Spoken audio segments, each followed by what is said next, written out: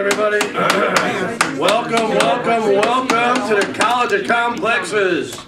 Tonight, we're meeting over at 2901 West Addison in Chicago, Illinois.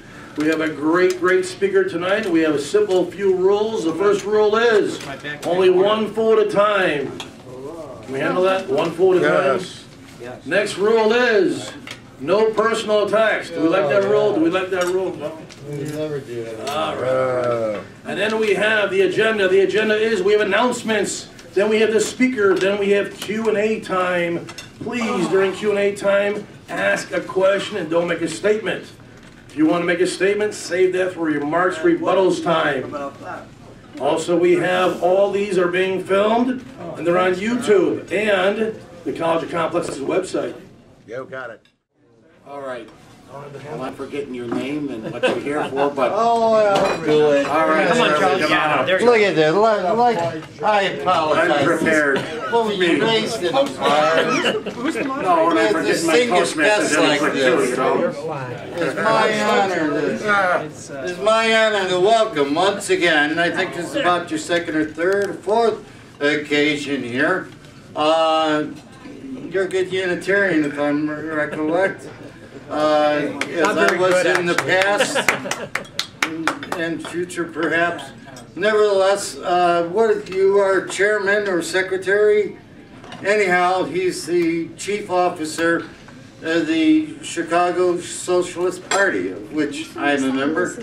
And I encourage each of you to join, uh, this is the website or the Facebook page. Uh, Anyhow, this is Charles Earp, welcome back, thank you very much. And then talk about this Socialist, can you be a socialist as president of the United States? No way. Can you, can you? Not gonna happen. All right.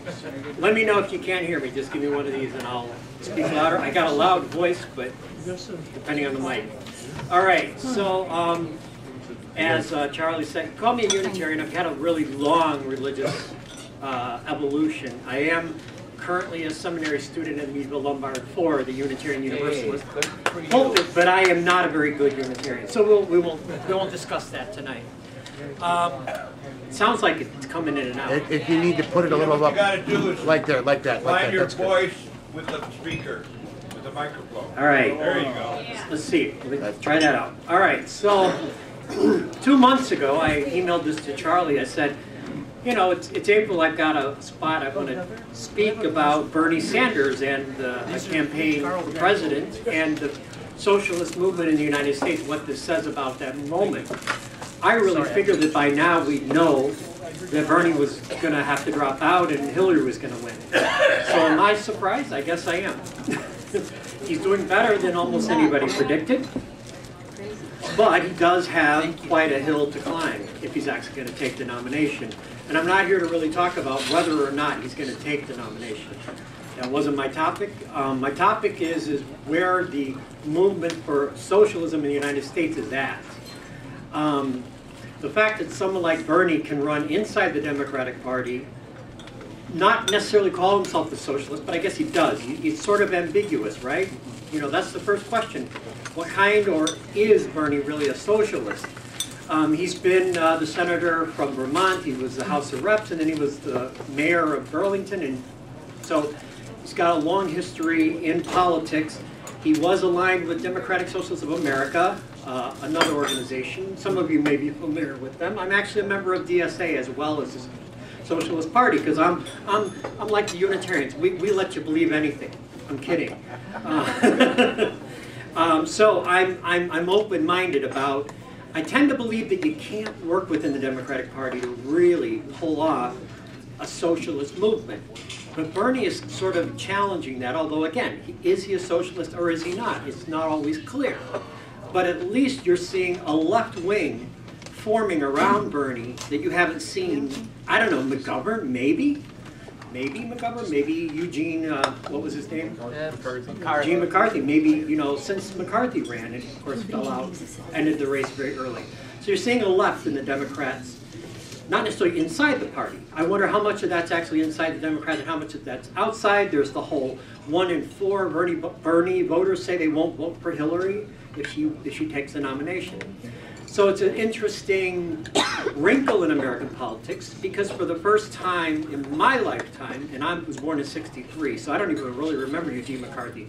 I remember McGovern, but I didn't, re- didn't really remember McCarthy or, you know, I remember Bobby Kennedy's funeral. That was my first political memory. That was, what, 68.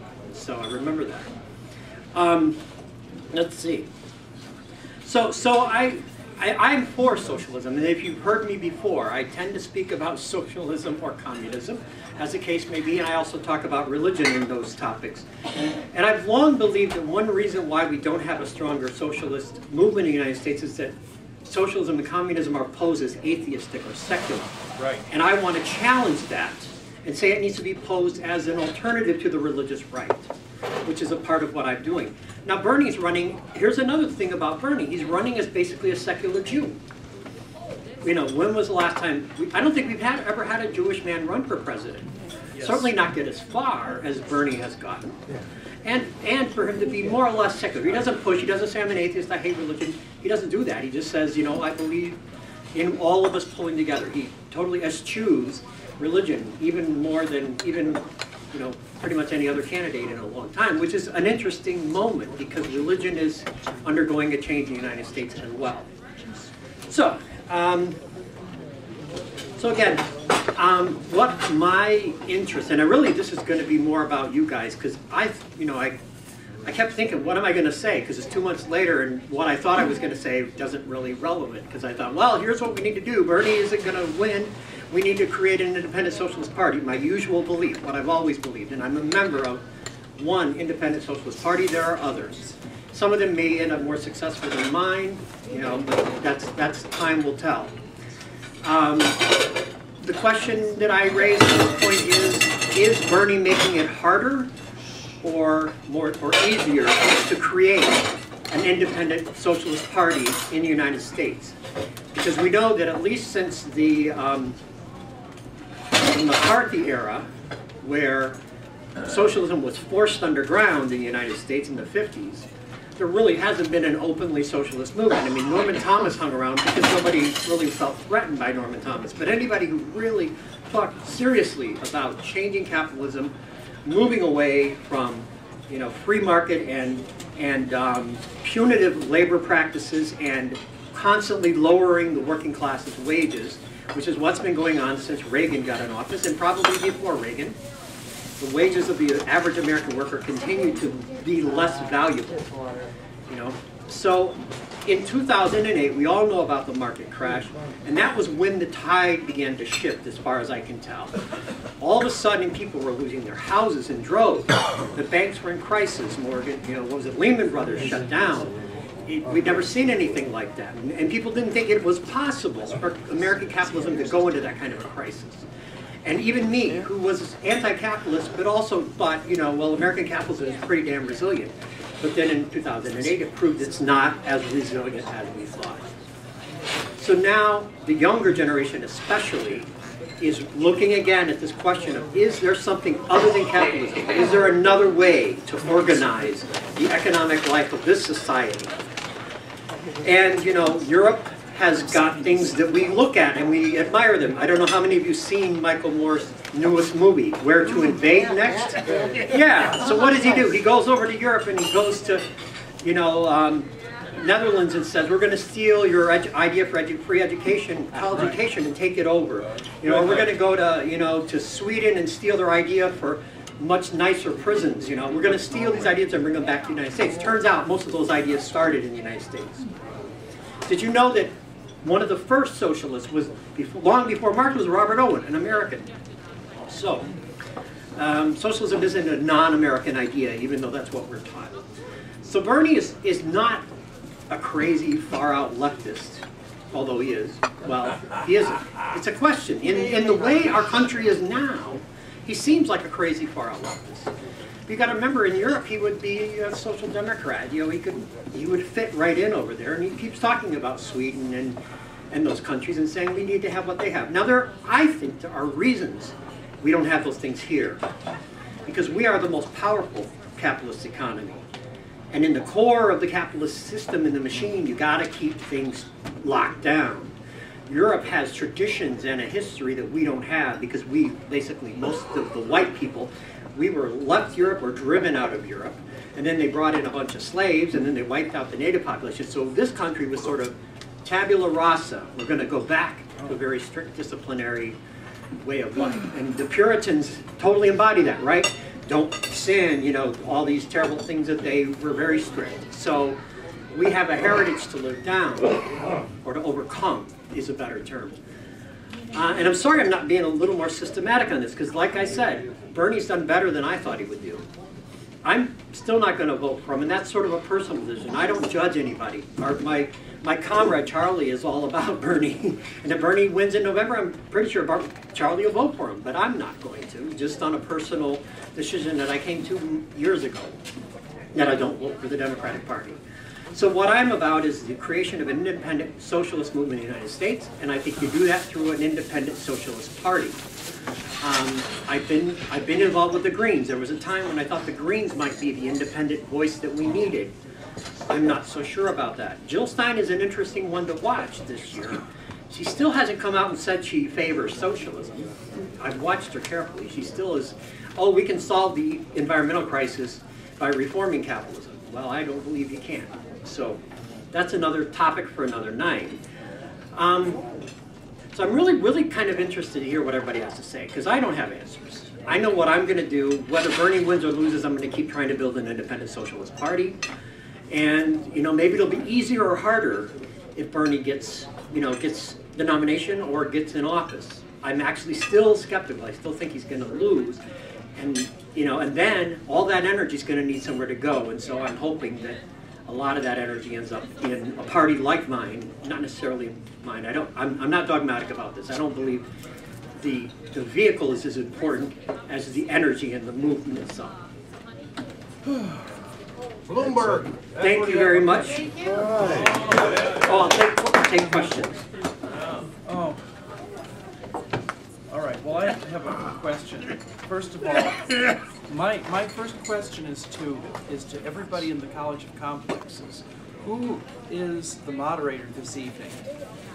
Who is the oh, moderator? Brom, brother Brom. He's always All right, all right. All right, well, if Brom, if, if, all right, well, normally, I, I wanted to also raise a, a point of procedure. Okay. Normally, when, during the question and answer session, uh, it is, it is one of the du, it is one of the duties of the moderator to, ah. to call on ah. people. Ah. And so I wanted Ask your uh, question. All right. Ask your You have a question. question. This is my question. Oh, you This want to be is, moderator? no, no, no, I, I'm just saying, I'm just saying that it's the duty of the moderator Oh, to we call heard on that. people and on behalf Yeah, of the speaker. Ask the You question, question. no statements. Ask the Yes, you question. have a question. Okay, are you going to do it, Everybody Rob? has to get here All earlier. right, Chrissy little mama. Yeah, yeah, yeah, Sit down, I'm Rich. yeah. I need a moderator. without having to need to make shade.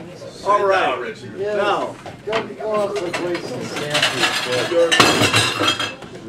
Sid Cohen will get the first lucky question, and then Marie over there. Yeah, what is your definition of socialism and what is your definition of capitalism? Okay.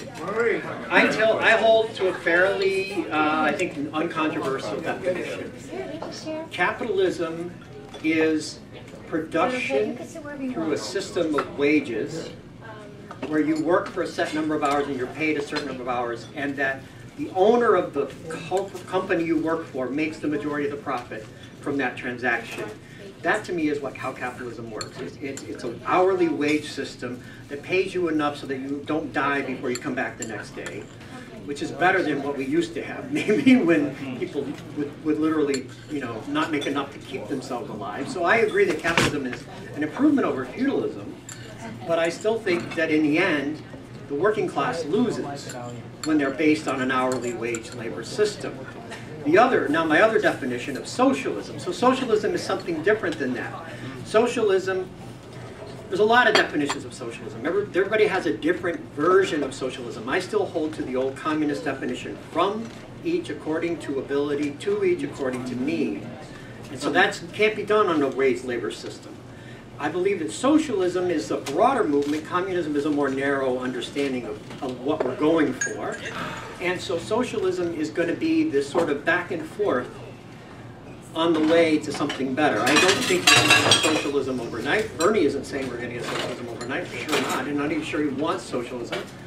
But, so I believe in transcending the wage labor system with a system that doesn't uh, exploit your work and doesn't um, doesn't uh, cramp your creativity. Because most of us would not work in the hourly jobs or wage, the jobs that we end up in. It's just what we can find to, to survive. I don't love my job. I've been there 14 years. I would love to get out of it. In fact, I went back to grad school to get out of it, but not everybody can do that. So that's, that's my definition. Capitalism is hourly wage system. That's the basis of your economy. And socialism is the struggle to come to something better, which in my definition, what is better is a system of when you have abundance, everybody gets what they need, but nobody has to overwork to get their portion of what they need. Well, all right, Marie, Hi. then Um, Ayala.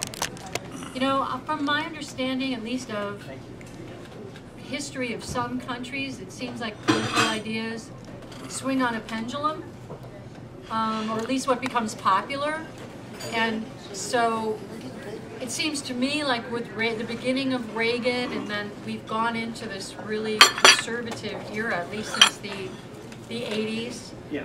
And um, I'm not sure, I'm, wondering if you think we're gonna swing into a more liberal era, um, possibly again after that, but I also wonder if American, American, from what I understand, the American economy, like there was really no middle class until after World War II. Right? Um, and um, I'm just wondering if you think we do have a pendulum kind of thing going on, and if so, if maybe the socialists could capitalize on that. Um, so I guess I don't think history moves on a pendulum. Um, I think that history moves based on the the development of the productive forces. This is the Marxism 101, right? Your your social order follows your economic development. And so prior to World War II and even World War I, the United States wasn't a big player in the world. All the real wealth was in Europe. And then Europe breaks into open warfare between capitalist countries. And that destroyed a lot of wealth. And so the United States, between the wars, went through the Great Depression, as did Europe. And then when we climbed out of it faster than the others did, and then war, war broke out again, and we intervened in that war and became the richest country on earth. So then you get your middle class forming in the United States, middle class forms in Europe. Um, but Europe is different, the conditions are different. They've undergone war on their own soil, we didn't. So I don't see a, I see boom and bust, but it's really about when economic production exceeds, you know, the ability to meet the needs of the majority. And so there's complicated stuff that I don't want to bore you with about the boom and bust. What I think is happening in our country was that the last bust, the Great Recession of 2008, has created a layer of young people especially who feel this system can't work for them. And they're largely, they're a big piece of the Bernie enthusiasm. You know, and um, so I, yeah, that's my answer to whether it's a pendulum. I think we're at a moment where the economic system is still recovering from the last crisis and people aren't sure it's going to actually recover. I personally would bank on an even worse economic crash coming soon. But I don't want to go, you know, I wouldn't, I wouldn't, I don't want to, I'm not prepared to argue for that now. But I do believe it is, in, it is ahead. Rob? Yes, uh, Steve. Yes, sir. Steve Hey, I, I gotta tell you, socialism is a wonderful concept. I, I, I, my heart aches. And my question is, uh, why can't you guys like buy a huge tract of land and just start socialism? This is America. You can create your socialism island wherever you want. So what are you waiting for to start socialism? Oh, I love it. I love it here. I love it. I like the concept of socialism. What are we waiting for? What are we waiting for is my question. What are we waiting for? So, so again, that, there, there were debates in the 19th century over this question of whether you could just go off and start a socialist business and then the model would just spread. And it didn't work. You know, that was what uh, Fourier argued for. That's what a lot of the, the quote utopian socialists argued for, starting these little socialist experiments that would spread and replace capitalism. It didn't work. And the socialist movement, particularly when Marx got in sort of a position of, of influence, convinced most socialists that you couldn't just create social, socialism through creating sort of model, model socialist businesses because the problem was systemic. The capitalist wage labor system has to, um, it, it, it controls too much power and too much wealth that it can basically uh, starve any attempt to create an alternative of any size. I live in an alternative, actually. I live in a commune. I'm not a commune member. I rent from a commune. And they're, they're great for what they do for their members and the few people who they can kind of help outside their membership. But, the, but you know, they, they can only do so much. And even if you had a commune in every neighborhood, you can only do so much through that model. There are people who believe in a commun socialism or communism from below, and they do believe in sort of creating these little experiments. I'm not saying don't create your experiment, but I don't think in the end, and this is, again, Marxism 101, that you're going to actually create a change in the global economic system by creating a local version of socialism. Ayala? Um, First, I think maybe she meant dialectics when Maybe. she said pendulum, and Oh, that's that's a very Hegelian Marxist concept. Okay. Uh, But my question is, you, regards to your last statement, Yeah. and which was that, I mean, you praised Bernie. Bernie is going to, I mean, if he's successful, will get, will improve the condition of uh, uh, this society here, even if it doesn't exactly uh, uh, uh, doesn't exactly correspond to the capital. But you said that you will not vote for the Democratic Party. So what is your opinion about partisan politics? And how responsible is partisan politics? Um, Which apparently you subscribe It's a very interesting question. I have, I have lots of thoughts about it. What, what we have in this country with the two-party system is two parties where you can only get elected if you're rich. Really, you look at who's in Congress, they're rich. Even if, even if, you know, like Bernie, Bernie may maybe except I don't actually think he's rich, although he probably is. But, but, you know, um, this country keeps, basically, it's set up, the election system in this country and the two-party system in this country is, is set up to keep the rich in power. And, you know, if you can show me an example where somebody who wasn't rich got in and, and didn't end up just becoming a part of that establishment, I, I might change my mind, but I can't think of any example. Is that your point? Because he's rich, you're not gonna... Well, it's, it's socialism, it's class struggle, it's the rich are keeping us down. I mean, I believe that. I, I see that, I experience that. You see Bernie keeping us down? No, I'm saying that by participating in the Democratic Party, and if he becomes president, the rich are still running the government. They're going to neutralize Bernie. What's he going to do? I don't think he can pull anything off. I honestly don't think he can pull anything off. But that's, your mileage may vary, and I could be wrong. I'm willing to say I could be wrong at this point. We don't know the future. I don't know the future. I could be wrong. Okay, Doug Boucher? Oh, thank you. Stand up, Doug. Stand up, Doug. Oh, So you can see me. Yeah. Uh, You know, I was watching Charlie Rose the other night, and they had Bernie Sanders on. Yeah. Uh, Charlie Rose came up with a pretty quick, quick go. Uh, but uh, the message I think I came away with from watching the program was uh, Charlie uh, or Bernie thinks that a lot of college kids are graduating with too much debt these days. You know, starting out their careers.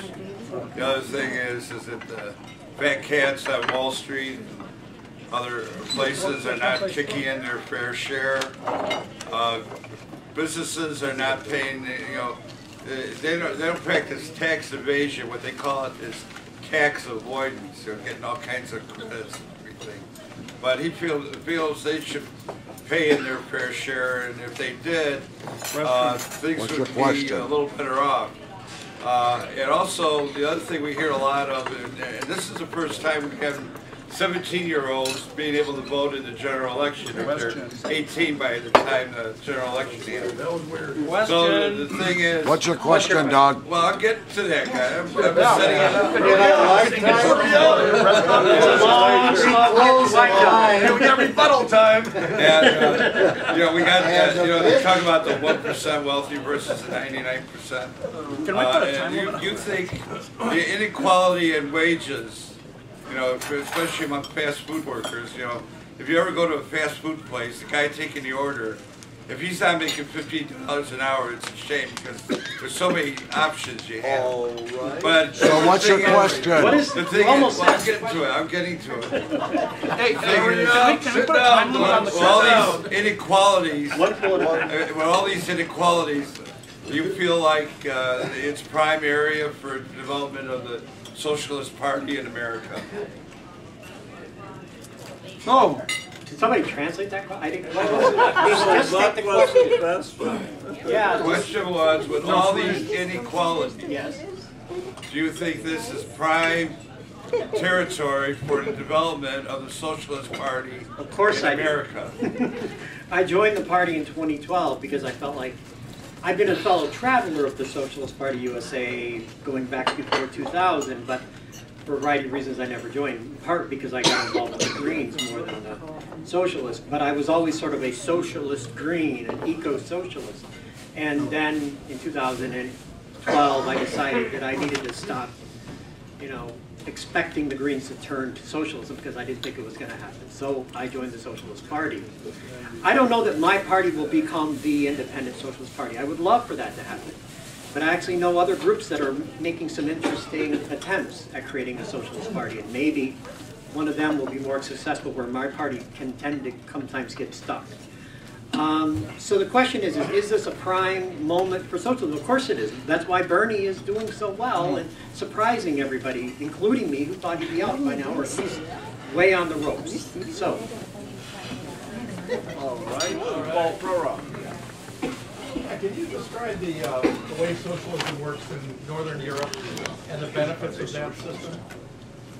uh, so the capitalist social democracy in, in Northern Europe, basically you have a guaranteed education, you have guaranteed health care, you have high wages, you're a member of a union, and so on. So those societies, now of course if you're an immigrant, many of those things are still denied to you. Europe is not anti-racist either, any more than we are. But for people who are born there and grow up there, they do have these social benefits. And these are the kind of things that Bernie points to and says we need them in this country because we never had them. There are reasons we never had them, which again go back to what I talked about after World War II, when we sort of moved to the ascendancy of, of global capitalism, we had to have a stricter economic policy here than Europe did because Europe was digging out of a war on its own soil. Um, there you go. That's my answer is that those things are nice and I wish we had them. And a socialism will have them, but that's not all a socialism will have. All right, the next sequence is Paul Prorock, uh, Mike Weiner, and Tim Bowles. Okay. What May about come in the back to back? you, I get skunked. Paul? All of. Oh, all right, Mike.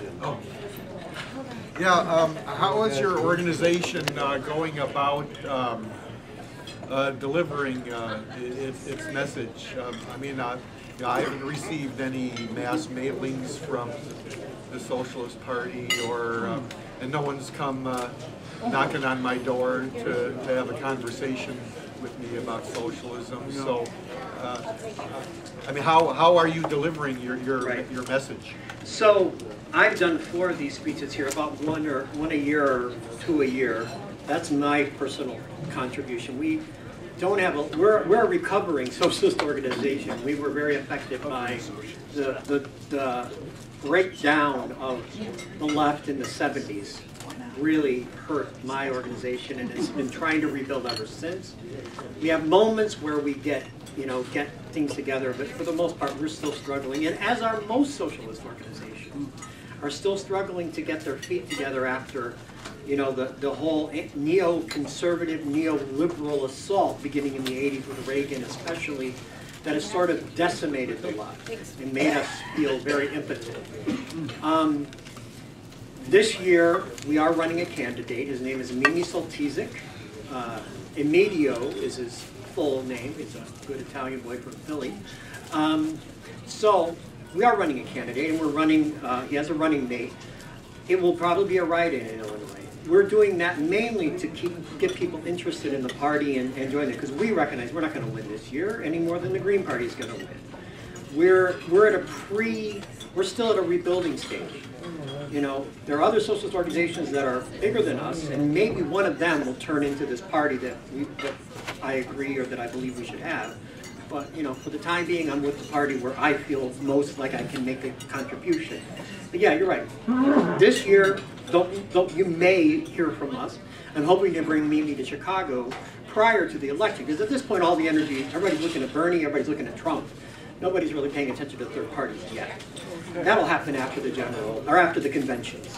Hey, uh, Don? Oh, you called me. Called Tim. Oh, Called Tim. all right, wait.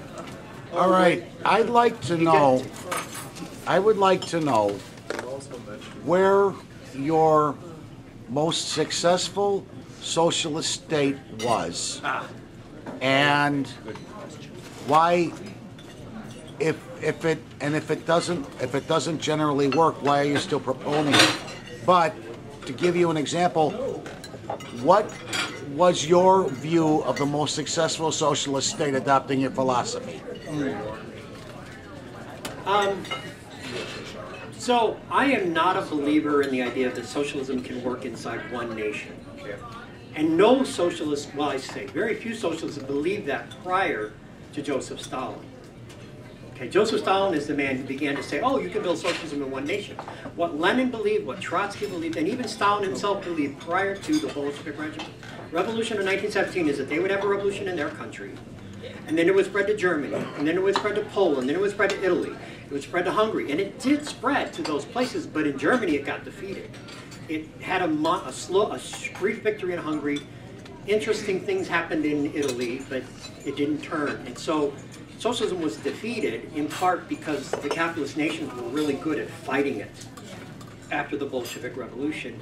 And then, and, and Stalin had to say, what do I do? Do I give up and quit? Or do I redefine what we're trying to do? And so he came up with the idea of socialism in one nation. So the answer to your question is there cannot be socialism in one nation. It has to be a global system, just like capitalism. All right, Don? Okay, uh, what, all right, all right, I, I wanted to, um, I, I was gonna ask Tim, I was gonna ask the question Tim asked, but he, he, he read my mind and asked it first. But I have another question. Sure. Now, you talked about, and, and maybe you've kind of already answered this one, but you, you, you meant, you, you, you mentioned that you believe that, that the reason for environmental destruction is capitalism. Now, so I would like to ask you about the about the USSR's destruction of Lake Baikal and about the and about uh, China replacing the United States as the world's biggest polluter. Right. Again, I don't think China or the former Soviet Union were socialist states. They were command economies, ran, run things from within the bureaucracy of the party and the state. There, and I'm not saying that central planning is necessarily a bad idea, but in, in the idea of socialism in one, one nation, it's a bad idea. So uh, the destruction of the environment in those countries in part was because they did not have they, they didn't have the any sort of democratic or popular sovereignty to sort of push back when the industries in those countries were destroying the environment. And here in the United States, because we did have this middle class of the 50s that gave birth to the radicals of the 60s, right? And, the, and, and we began this green movement. I'm, I'm, I don't want to live in Cuba or Russia or Vietnam or those countries. I'm here and I want to see socialism here because I think the majority of Americans would be better off. I really believe that. And if the system, if socialism, quote unquote, comes and the majority of Americans aren't better off, I don't want it. So, you know, I'm a pragmatist. I want results. Do we actually improve the lives of people? That's why I defend socialism, because I believe that capitalism has basically made it harder and, and, and it's going through cycles. I think there are cycles, and I take your point about why not reading the pendulum as a dialectic. The problem is, is for me about the dialectical theory of history is I think there's a direction that's not really dialectical to capitalism. Why I say I'm a semi-Marxist when people ask me if I am. I like some things in Marx, I don't like others, and I think dialectics can become a hypnotic, oh, we gotta look for the swing. Well, no, you just, you just understand and you analyze through history how things change. And I got off the target. Basically, I think I answered your question about the destruction of the environment in those two former socialist nations. And why in the United States we're at least trying to change things. And I believe that the United States is essentially the populace at the, at the lower level would be socialists if they weren't scared of socialism. All right, let's see. Uh, Charlie had his hand up first, I think, Joe. But, um, Joe Soper after Charles. All right, Mr. Murray. Yes, do you know of any examples of where capitalism has worked? Do you know of any places where there's been no recessions, no depressions, no bankruptcies, no CEOs ripping off Where has money? socialism worked? Do you Where has do you know of any socialism places Hey, wait, where one fool at a capitalism has not employed children for the, their own personal gain? Do you think capitalism should be tried out in some kind of like their own land? Where has socialism land, worked? So the rest of the socialist Answer world. bold. Where has socialism worked? All right, so I think we get Charlie's point, right? Do I have to restate it? You want to start picking on what the former social, so-called, so-called socialist nations did, but just look at what capitalism is doing. Do you really, I mean, I understand there are boosters of capitalism in the room. I've been here before, fourth time. And I'm usually talking about socialism. So I know this audience, and I know that many of you are not convinced like I am that capitalism is really bad for the planet. Uh-uh. But I'm convinced, I've been, you know, you show me the facts and figures and the poverty rate. I agree, I'll, I'll disagree with you, just slightly, Charlie. Capitalism has improved life for a lot of people compared to feudalism. But the reason it has is not capitalism, it's science. Science has made people healthier. It's better than the dark ages. It's better than the Dark Ages. Is it where we, is it the, have we, have we reached the potential of humanity for the social order and the economic system? No. And, and I believe capitalism can't because of the wage labor system. The wage labor system prevents you from being really creative. You have to do something that makes you a profit, whether or not it's creative, whether it actually helps a lot of people. I think of it like this. The reason I believe so much in socialized medicine is because if you go to your doctor and you're sick, he doesn't have an incentive to cure you because you, you get cured, you're not going to go back to your doctor. So he wants you to stay sick so you keep coming back. And that's what a profit motive does. It, it, it hampers the search for a real solution. Devil doctor. Devil. But they're not. But The thing is, is most doctors don't do that. Why is that? Because they're human beings and they don't pay attention to the profit motive, right? Although that's changing. Most of them don't pay attention to the profit motive. And because that's because they're really downhearted, they're human, good human beings, and you don't make a judgment about whether to cure this person based on whether they can afford to pay, although doctors are being forced to do that.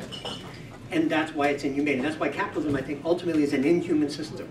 It says, will this make me money, rather than will this help or hurt somebody? All right. Uh, Murray. Murray. Thank you.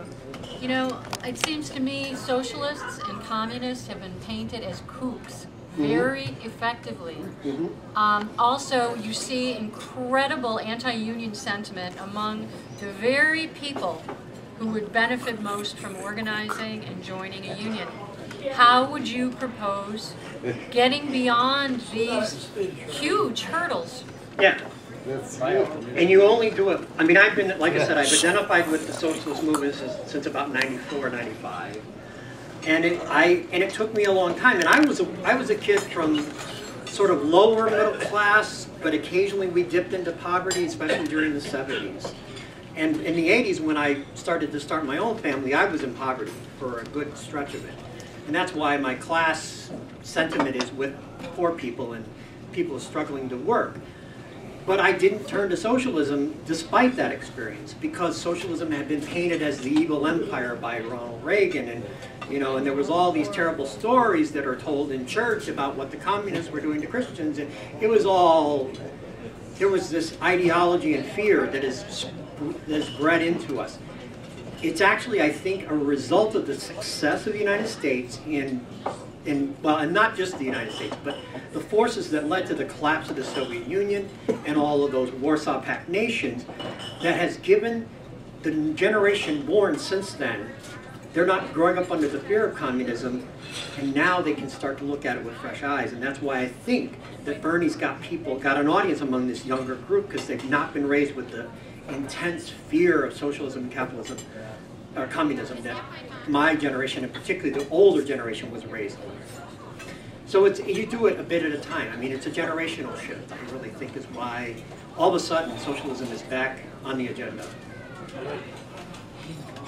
Uh, Joe Soper. Yeah, I got a question. Everybody talks about Europe as being the great hotbed of socialism and it's so great. I didn't, but I know what you're saying. Why are they having such a time with all these immigrants that they've been uh, over the borders and running all these immigrants and all this stuff all over Europe? One, they're getting shot at, bombed. Two, they don't seem to like the immigrants too much. I thought socialism was supposedly all inclusive. Well, and that's why it goes back to, I, just like I don't think you can have socialism in one nation, I don't think you can have socialism as even nations that are all close, like the Nordic countries. You know, you got all these Nordic countries that operate along similar principles of, you know, you give everybody an education, you give everybody a union card, you give, you know, you give everybody the universal health care, but immigrants don't get that stuff.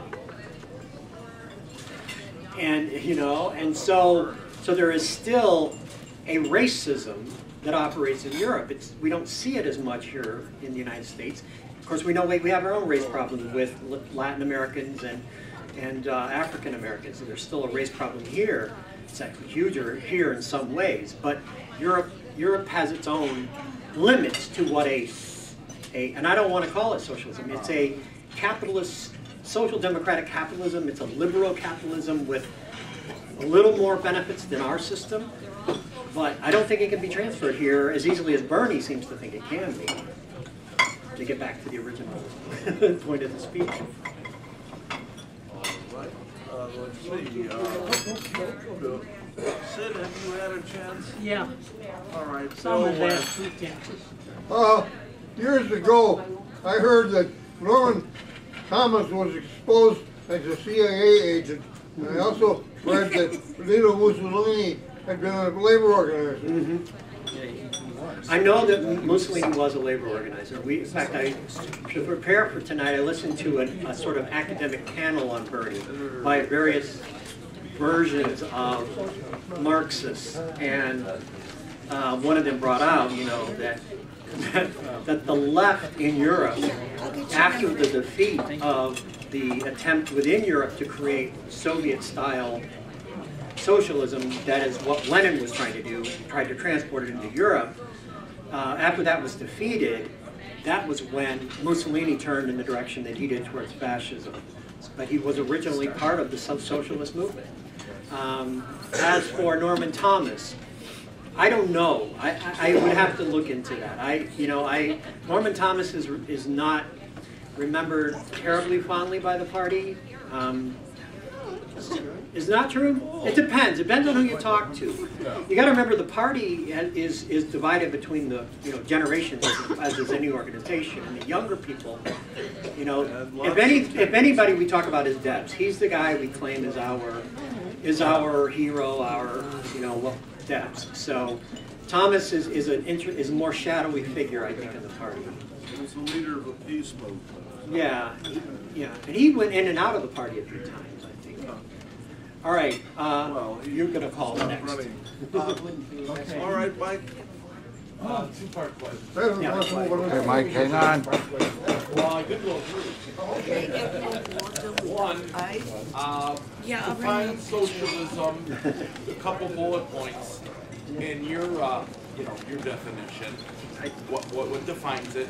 And then I believe in your discourse here, you said that you are not voting for Bernie Sanders, not in favor of Bernie Sanders. Bernie Sanders, Jack Kennedy, Bernie Sanders is not socialist enough, and you don't like Bernie Sanders. No, I say I. What's your question?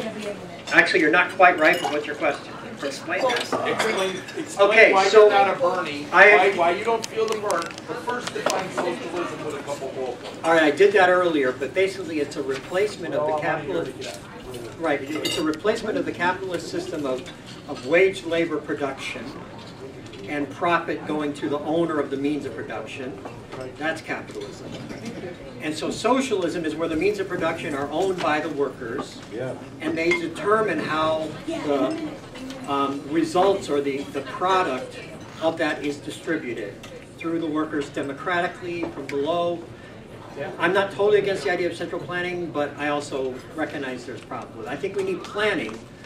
I think it's probably a combination of a certain amount of, you know, bottom-up planning and maybe a little top-down planning, depending on the situation. So socialism to me is when the workers have agency and control and ownership of the means of production themselves rather than the owner, than the current capitalist class owners. So back to Bernie. I haven't necessarily attacked Bernie, other than to say maybe he's not a socialist, which a lot of people seem to understand why I mean that. Because we talked about the Nordic countries.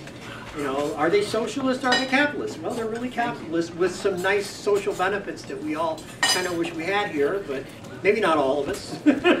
some of us. I would, I would love to have a free college education. I've had to pay out of my pocket for grad school. We only have one but we don't know. but the but the I'm not necessarily against Bernie. Is when he decided to run within the Democratic Party, is where I sort of like okay. I never was your kind of socialist. You know, you're more of a social democrat. But now that you're running inside the Democratic Party, I've come to the conviction in 1980, Hmm. 1992 that I was never going to vote for another Democrat, which was Bill Clinton's first term. That's when I stopped voting for the Democrats. So. So I have an old, I, I'd already decided that, and, and I, Bernie didn't convince me, because I thought he would lose. If he wins, I will reevaluate. Uh, but right now. The on the one percent. Hey, hey. You asked your question, let- does does get a follow-up? All right, all right. Smart guy. It's, uh, oh. Anybody not asked a question? Waving his hand vigorously. Okay, all right, all right, my, um, all right, uh, uh, I wanted to ask you, sir, um, you were talking about, you were talking a little bit, I wanted to ask you, as a follow-up to his question, what do you think about the German system of worker councils and co-determined boards of directors? You only got two-thirds of it, you don't have to. Um, I don't know enough about it, and I, I guess I've never heard that Germany has worker-owned, and we have some worker-owned businesses in the United States. But, but again, again, just like you can't have socialism in one country, you can't have socialism in one city, you can't have socialism in one business. You can have better than the average for, in terms of compensation of the workers. But capitalism is a global system. And, and until you change the wage labor practice and the ownership of the means of production, you don't have socialism. Yeah, if um, you look at Cuba, Vietnam, and China, what they say in Cuba is, we don't have socialism, we're working toward socialism. And the same thing in China, same thing in Vietnam. They don't have the infrastructure for socialism, but they're trying to develop it through a mixed system. What do you think of that? Um, I- And I get, it. I, I don't have, I have not studied uh, Cuba, or Cuba, Vietnam, or China very closely. Um, And I don't gather, I don't get that they have worker-owned businesses. The businesses are run by a bureaucracy of some kind that's part of the state. Um, China and Cuba have created free zones, capitalist businesses that are not subject to the state. And that's an attempt to bring in American dollars or Canadian dollars in the case of Cuba. I, I'm in the travel industry and we've just started selling trips to Cuba.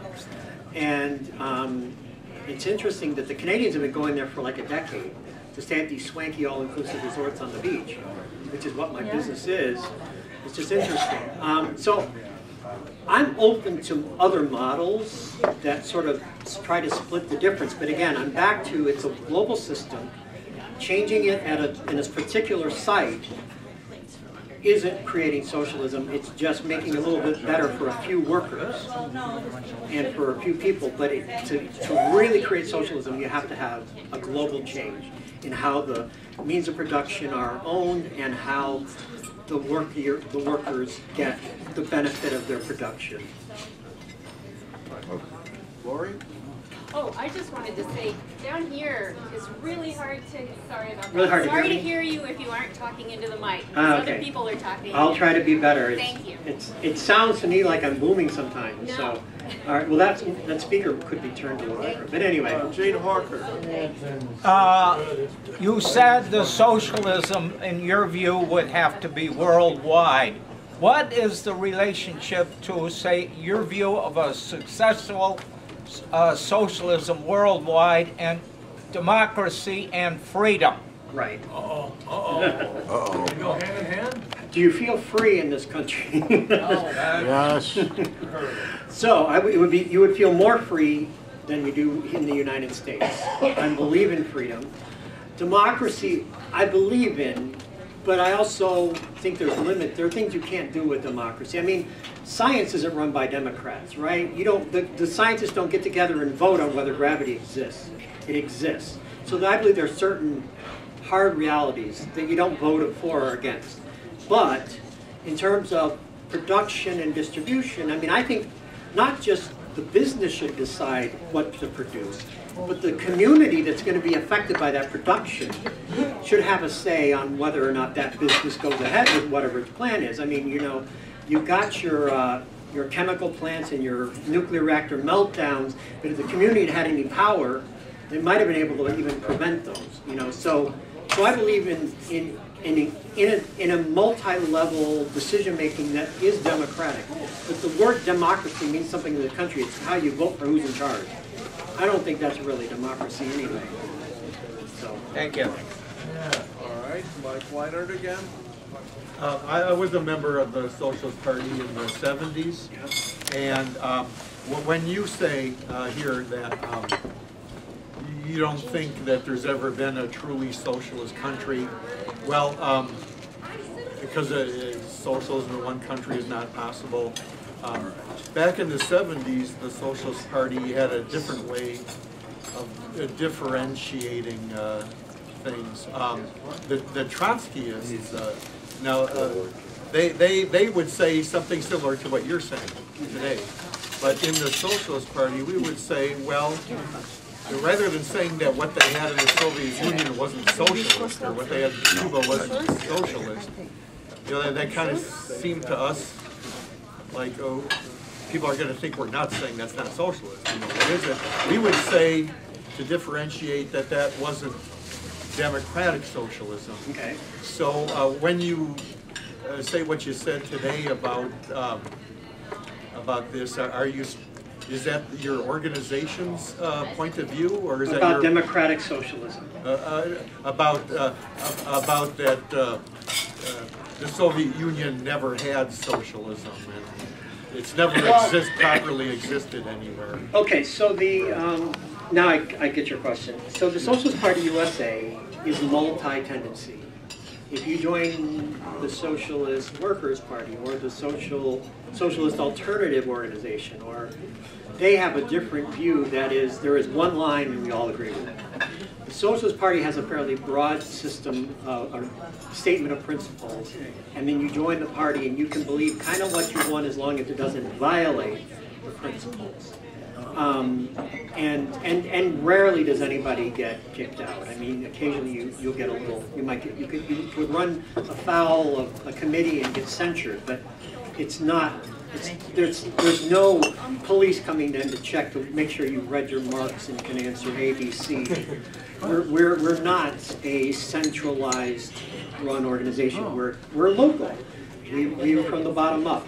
Um, so, my view that the Soviet Union was never socialist, that China was never socialist, and when I say never, there's a chance that maybe in the early days of the Russian Revolution, but again, well, to me, the idea that you could create socialism in I one country, it, it's 12 I still, I, it would be hard, it'd be hard to convince, it'd be hard to convince me that any of those European countries are actually socialist, but, you know, you're willing to try. It. Maybe we'll have that conversation later. So I don't speak for the whole party, I speak for my view of socialism, which, you know, I've been involved with the social, I've been anti-capitalist for a lot longer than I've been a socialist. And back then, I didn't, when I was, of course, I was infused with this paranoia growing up of communism.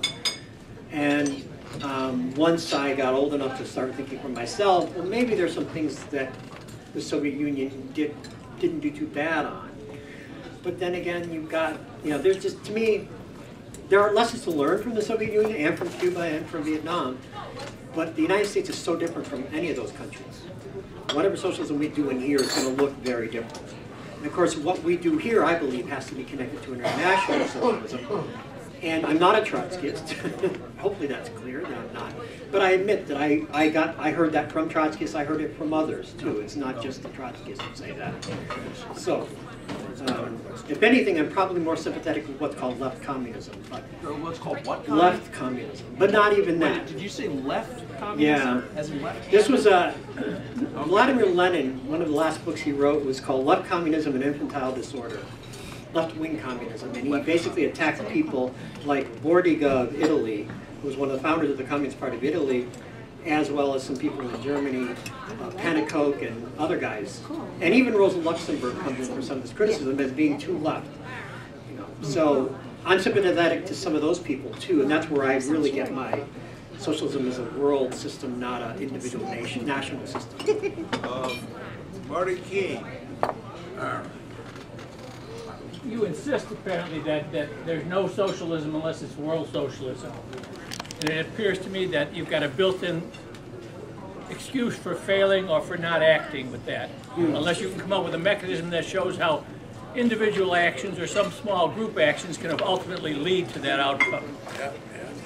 So you, you're, you're, you're, you're off the hook no matter what happens. Okay. Yeah. Okay. Yeah, off the hook. Is there a question? No, I wanted you to respond. Am I Respond correct to in that, saying that respond to you're off the hook? accusation. All right. Are you off the hook? Yeah. All right, so, um, I've heard that. I've heard people say I'm a defeatist or whatever, and, um, I am, I'm trying to be honest here where I'm at. Bernie has made me rethink some of my positions, so, you know, I still don't, I, I, I know what you're saying, and I do admit that I tend to believe in system and the global rather than necessarily the individual, which is why I'm not a fan of the Bolshevik Revolution.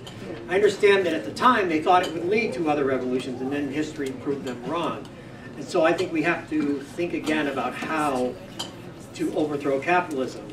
Um, the question, the, I am, I believe that I will have succeeded as, at an individual level if I can help my socialist organization, which is right now the Socialist Party of Chicago and the Socialist Party USA, to grow, and more people join it. That's my practical work. We participate in bigger demonstrations. We're a small organization. We're not going to change the world, and I'm, I'm open to some other organization figuring out how to change the world. I can do what I can do in my context. I, I used to want to grow up and change the world when I was very young. I think that was naive of me now, because I didn't change the world. I had I had personal stuff to work through. So anyway, I you know I understand what you're saying, and maybe it's true.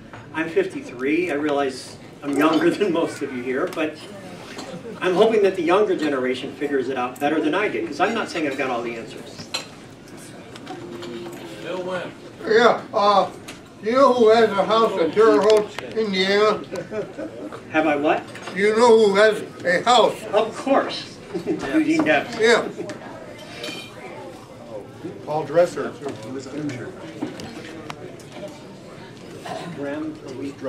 Okay. Is there any more questions? Yeah, Steve comes. All right. Steve? Yes, sir. Uh, I understand what you're saying about one owner is capitalism, like Dapper Restaurant. one owner, this is capitalism right here, right? That's what you're saying? One This owner, a bunch restaurant of is a part of the capitalist system. Part of the The, my business, the job that I have is part of the capitalist So capitalist if this place and corporations sell stock, isn't that along the socialist line? Isn't stock in a corporation a form of socialism? No, because it's Same based concept. on profit. Yeah, yeah. When you own a piece of, a share of the stock, you own, you get some. Right, but, but what I've said, and I guess I haven't said it loudly enough, is the profit motive is what corrupts the econ, the process of economic production. If you only create things, whether you can sell them for a profit, you don't produce things that just help people. Oh, so motive, oh. motive is what you're saying, motive. Mo, well, right, it's production, the socialists talk about production for use rather than production for profit. Right, right, motivation. Okay, okay. Well, the re, yeah, so. I'm just saying. Yes, Marie. It seems to me like there would be a lot of sympathetic people among like punk rockers, seriously, and art students. Right. And grad students, and um, I just wonder if you're putting, or you know, if the Socialist Party puts any effort into sharing materials with those like groups they think might be open to it. The national secretary, Younger the people. national secretary of the Socialist Party is a punk rocker. I like the kid, young people. And there are, there are punk rockers in the party, definitely. I mean, come on, The Clash, right? Even Rage Against the Machine and a layer, you know. They're not punk They're, they're, but they're, they got a punk sense. Do they recruit? Those party, those bands and things? No, no, I mean, yeah, I mean, Oh, does do we the recruit? Socialist Party do anything to reach out to groups like that? Yes, I mean, not, not in the local scene. The local scene is actually, we're, our local, Janet is a member and Charlie is a member, but both of them precede me by a decade at least, or two, in the party. Um, The par, the party now, a lot of the energy is in Pilsen and even Little Village. We're, we're actually, our Latina members Latina are becoming our main energy right now. And, Because you there's know, a tradition of socialism in Mexico, right? Right, there, yeah, definitely. So, yes, so there's, you know, we're not punk rockers because punk is kind of off the scene now. You know, the, I don't know what the 21st century variation of punk rock really is. Hip-hop. Hip hop, Yeah, yeah, yeah. So anyway, we're, it's, it's a different era, yeah. Like I said, the national secretary comes out of the punk rock scene. Anarchy, anarchy in the UK. He actually would probably tell you he's more of an anarchist than a socialist, but we gave him a job. Doug, you were waving at me vigorously a minute ago. Doug? Yes? You had a question? Yeah, I did. You know, hearing you talk about, you know, is the profit motive piece very bad? You know, in economics, they talk about butter, uh, producing butter and guns. Yeah. If there was, a, this kind of alludes to what the Soviet Union was like. If the case is that I'm a, the whole country decides to produce arms, but no one makes a single dollar from producing those arms, it sounds like you would say, well, that's a good thing uh, because of the fact that there's no profit being made, eh, but everyone uh, is contributing to making those arms. Well, no, I, Do you stand by I believe, all right, and, and so, again, you can't, socialism isn't a simplistic deduction from principles. Everybody needs food, everybody needs health care, everybody needs clothes, a place to sleep, and transportation, and an education. And an iPhone. Communication is important. Yeah. So there are basic needs that everybody's got to have, and that's where your economy starts. If your economy emphasizes guns over butter, as you just said, it's not a humane economy of any kind. So, no, an economy where democratically to decide we're going to stop making butter and just make guns is not is not living up to a humane economy, let alone a socialist. Answer Doug's question? Come on. What? All right. Debbie, you still have a question? Oh, oh, dear. My man wants to know what's going on in Panama, and what about the Cook brothers, the David and Yeah, Richard but I in mean, you wanted Kansas? to see that one. The Koch brothers with the gas Oh, and the yeah. oil. What you say about that? Or a question. Why we not put money in Switzerland, now we put in Panama? We can't hear the question. What's the question? Well, she asked me about Panama and Kansas and the Koch brothers. And the Koch brothers. Yeah, and Kansas. And, and I admit, what I, what I pay attention most to with the Koch brothers is ALEC. Does everybody know what ALEC is? Yeah. Yeah, yeah. So ALEC is this think tank funded by the Koch brothers and other people to create legislation. And then as soon as an issue comes up, all the legislators across the country get. At the state legislators level. Get, get, get, here's the law you should try to get passed. So there's, you know, they corrupt the political process there because they got the money to do that. And it's worked. There are states that pass all kinds of legislation that the Koch brothers management. invented. Okay. Emergency managers is one of them. You know what an emergency manager is? That's where, and it happened in Detroit, I think, Yeah. or Flint. It definitely happened in Yeah. Flint. The, the, the elected manager was basically fired by whatever board is set up by this law, and, and they placed a businessman in there who was gonna clean it up. And what did he do? He sold the water system to somebody who gave him lead, you know. Capitalism at its finest. It's taking over voted in people Yes. with appointees. Yep. Okay. Okay. Let's get, I think we've had about 40 minutes worth of questions. Our speaker ended early.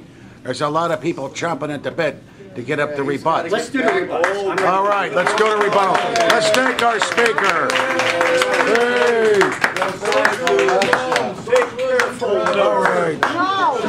We're going to do rebuttals. Rebuttals. Oh, thank you. You know what? I'm not even. I'm gonna go sit by Don. We don't sit by Don. I'm Charlie. I got the first one. We're lining up, ready to go. Give us We're down. gonna go. How many? Go visit Lennon. Parade here. We're not gonna leave, we got plenty to All say. behind Tim Bolger and Jenna.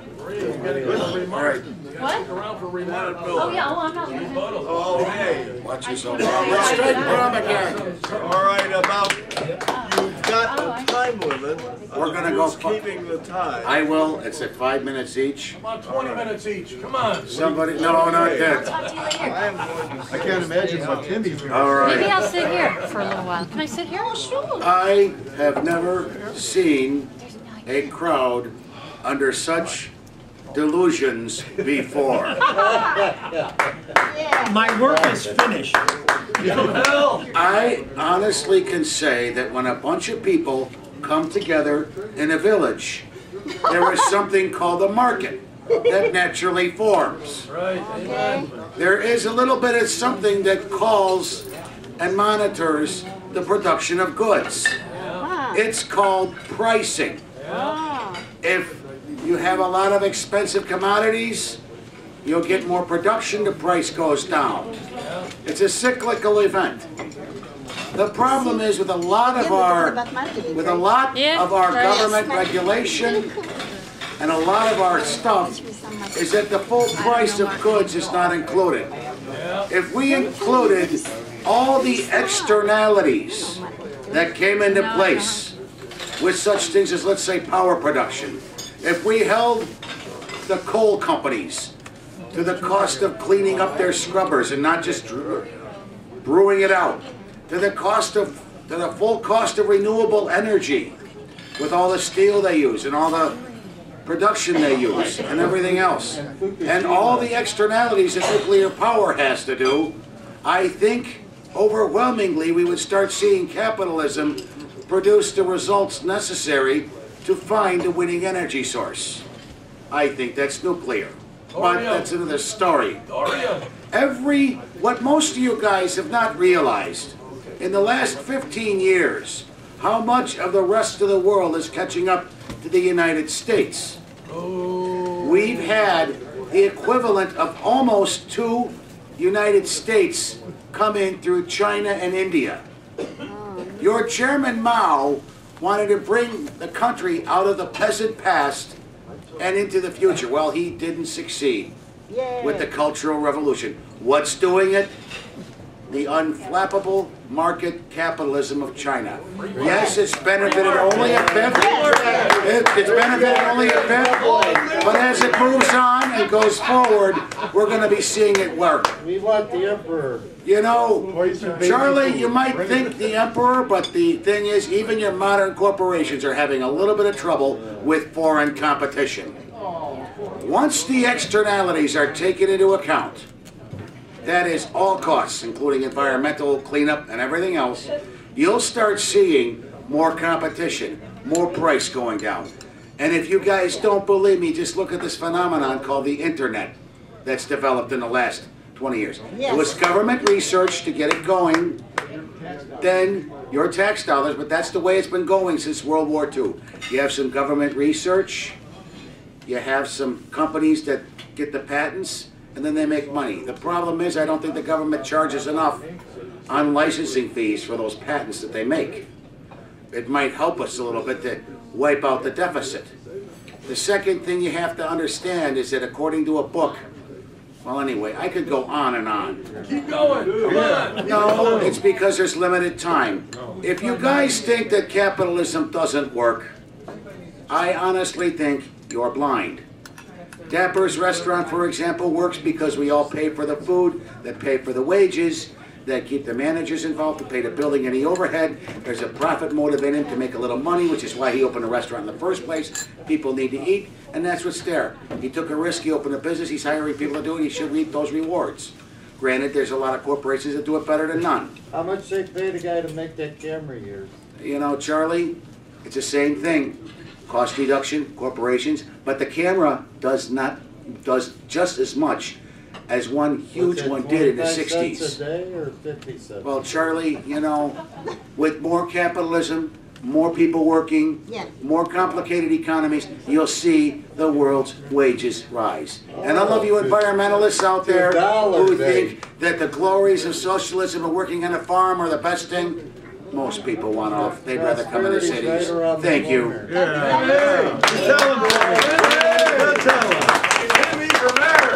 All right. We're gonna go five minutes, but, uh, well, we're a la- a lax five minutes, so just try to keep it under six.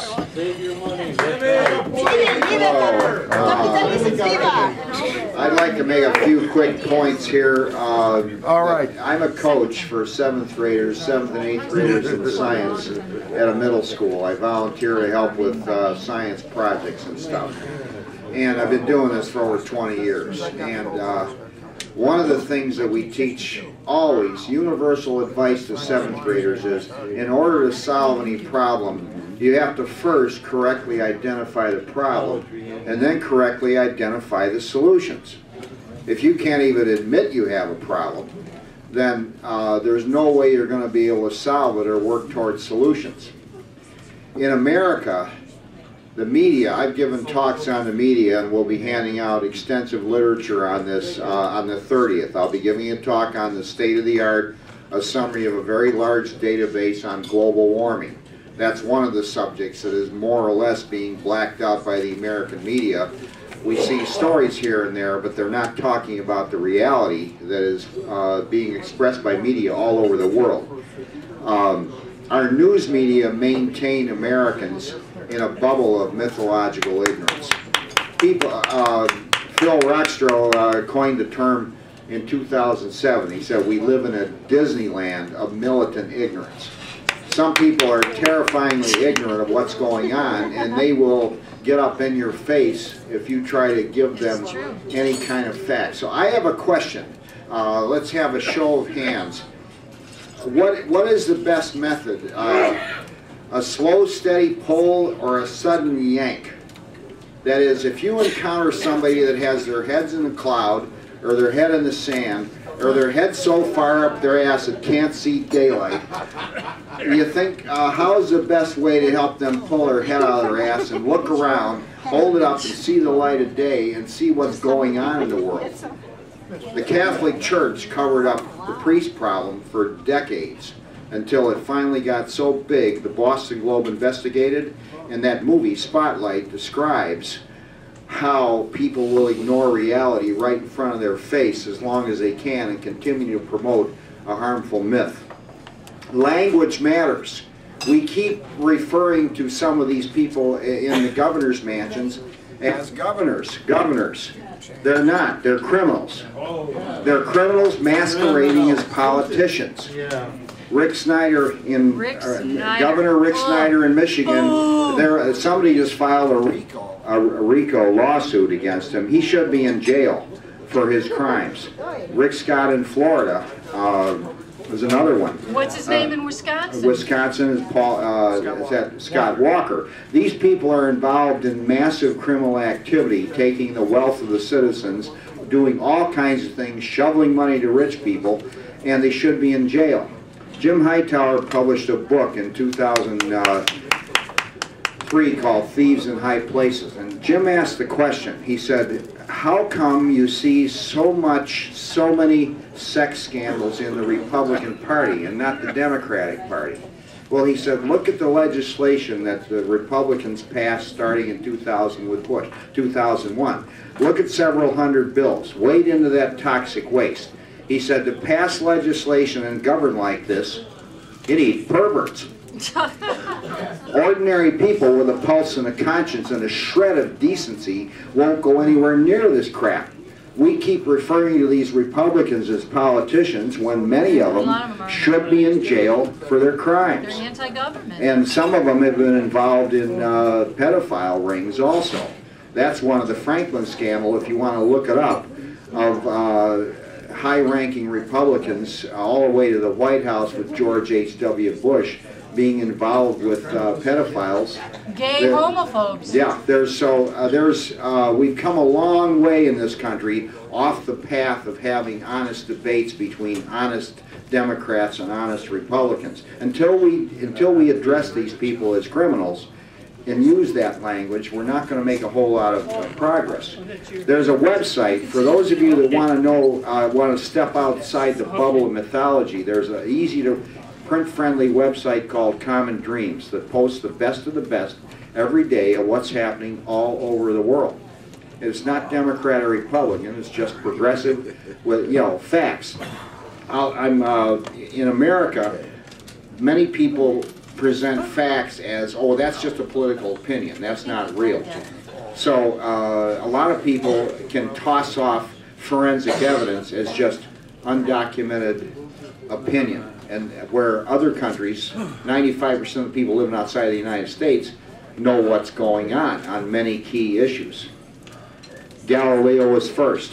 He said the earth is not the center of the universe. He got arrested, but people came along behind him with telescopes and said, hey, he was right. Knowledge moves forward up the Galileo curve. Ideas that are considered controversial at the time are now common sense knowledge, like we have smoke-free restaurants. Uh, asbestos has been banned. All kinds of things like that. We say, well, we'll never, never make progress on that issue. We make progress when the public reaches critical mass. So I would, I would encourage all of you to look at the issues that Bernie Sanders is talking about. He's not a communist or a far-out socialist or anything else. He's a common sense, decent person that wants to bring to America many decent things that are involved uh, that other people in other countries have all over the world. So uh, I invite all of you, uh, we're going to be giving away about 30 or 35 free books three weeks from tonight. Uh, we've got some surplus books on all these social issues, so if you come April 30th, you can get a free book that you might not have seen before, and we will have literature summaries on a lot of the stuff, blacked out news, that I've been giving talks on here for the last eight years. So April 30th will be a night we will pass out massive information, books, articles, all kinds of stuff. On the, but the talk, topic is going to be centered on the environment. Okay? okay. Thank you. And anybody wants some more information, come see me. Janet, Janet, you're next. Janet, you wanted to go? Yeah. Okay, can we let Janet go next real quick? Janet, go ahead, you're, you're on next. Five minutes, Janet. Oh, Janet. Oh. Yeah, she's, she's, she's indicated, but we'll let her go.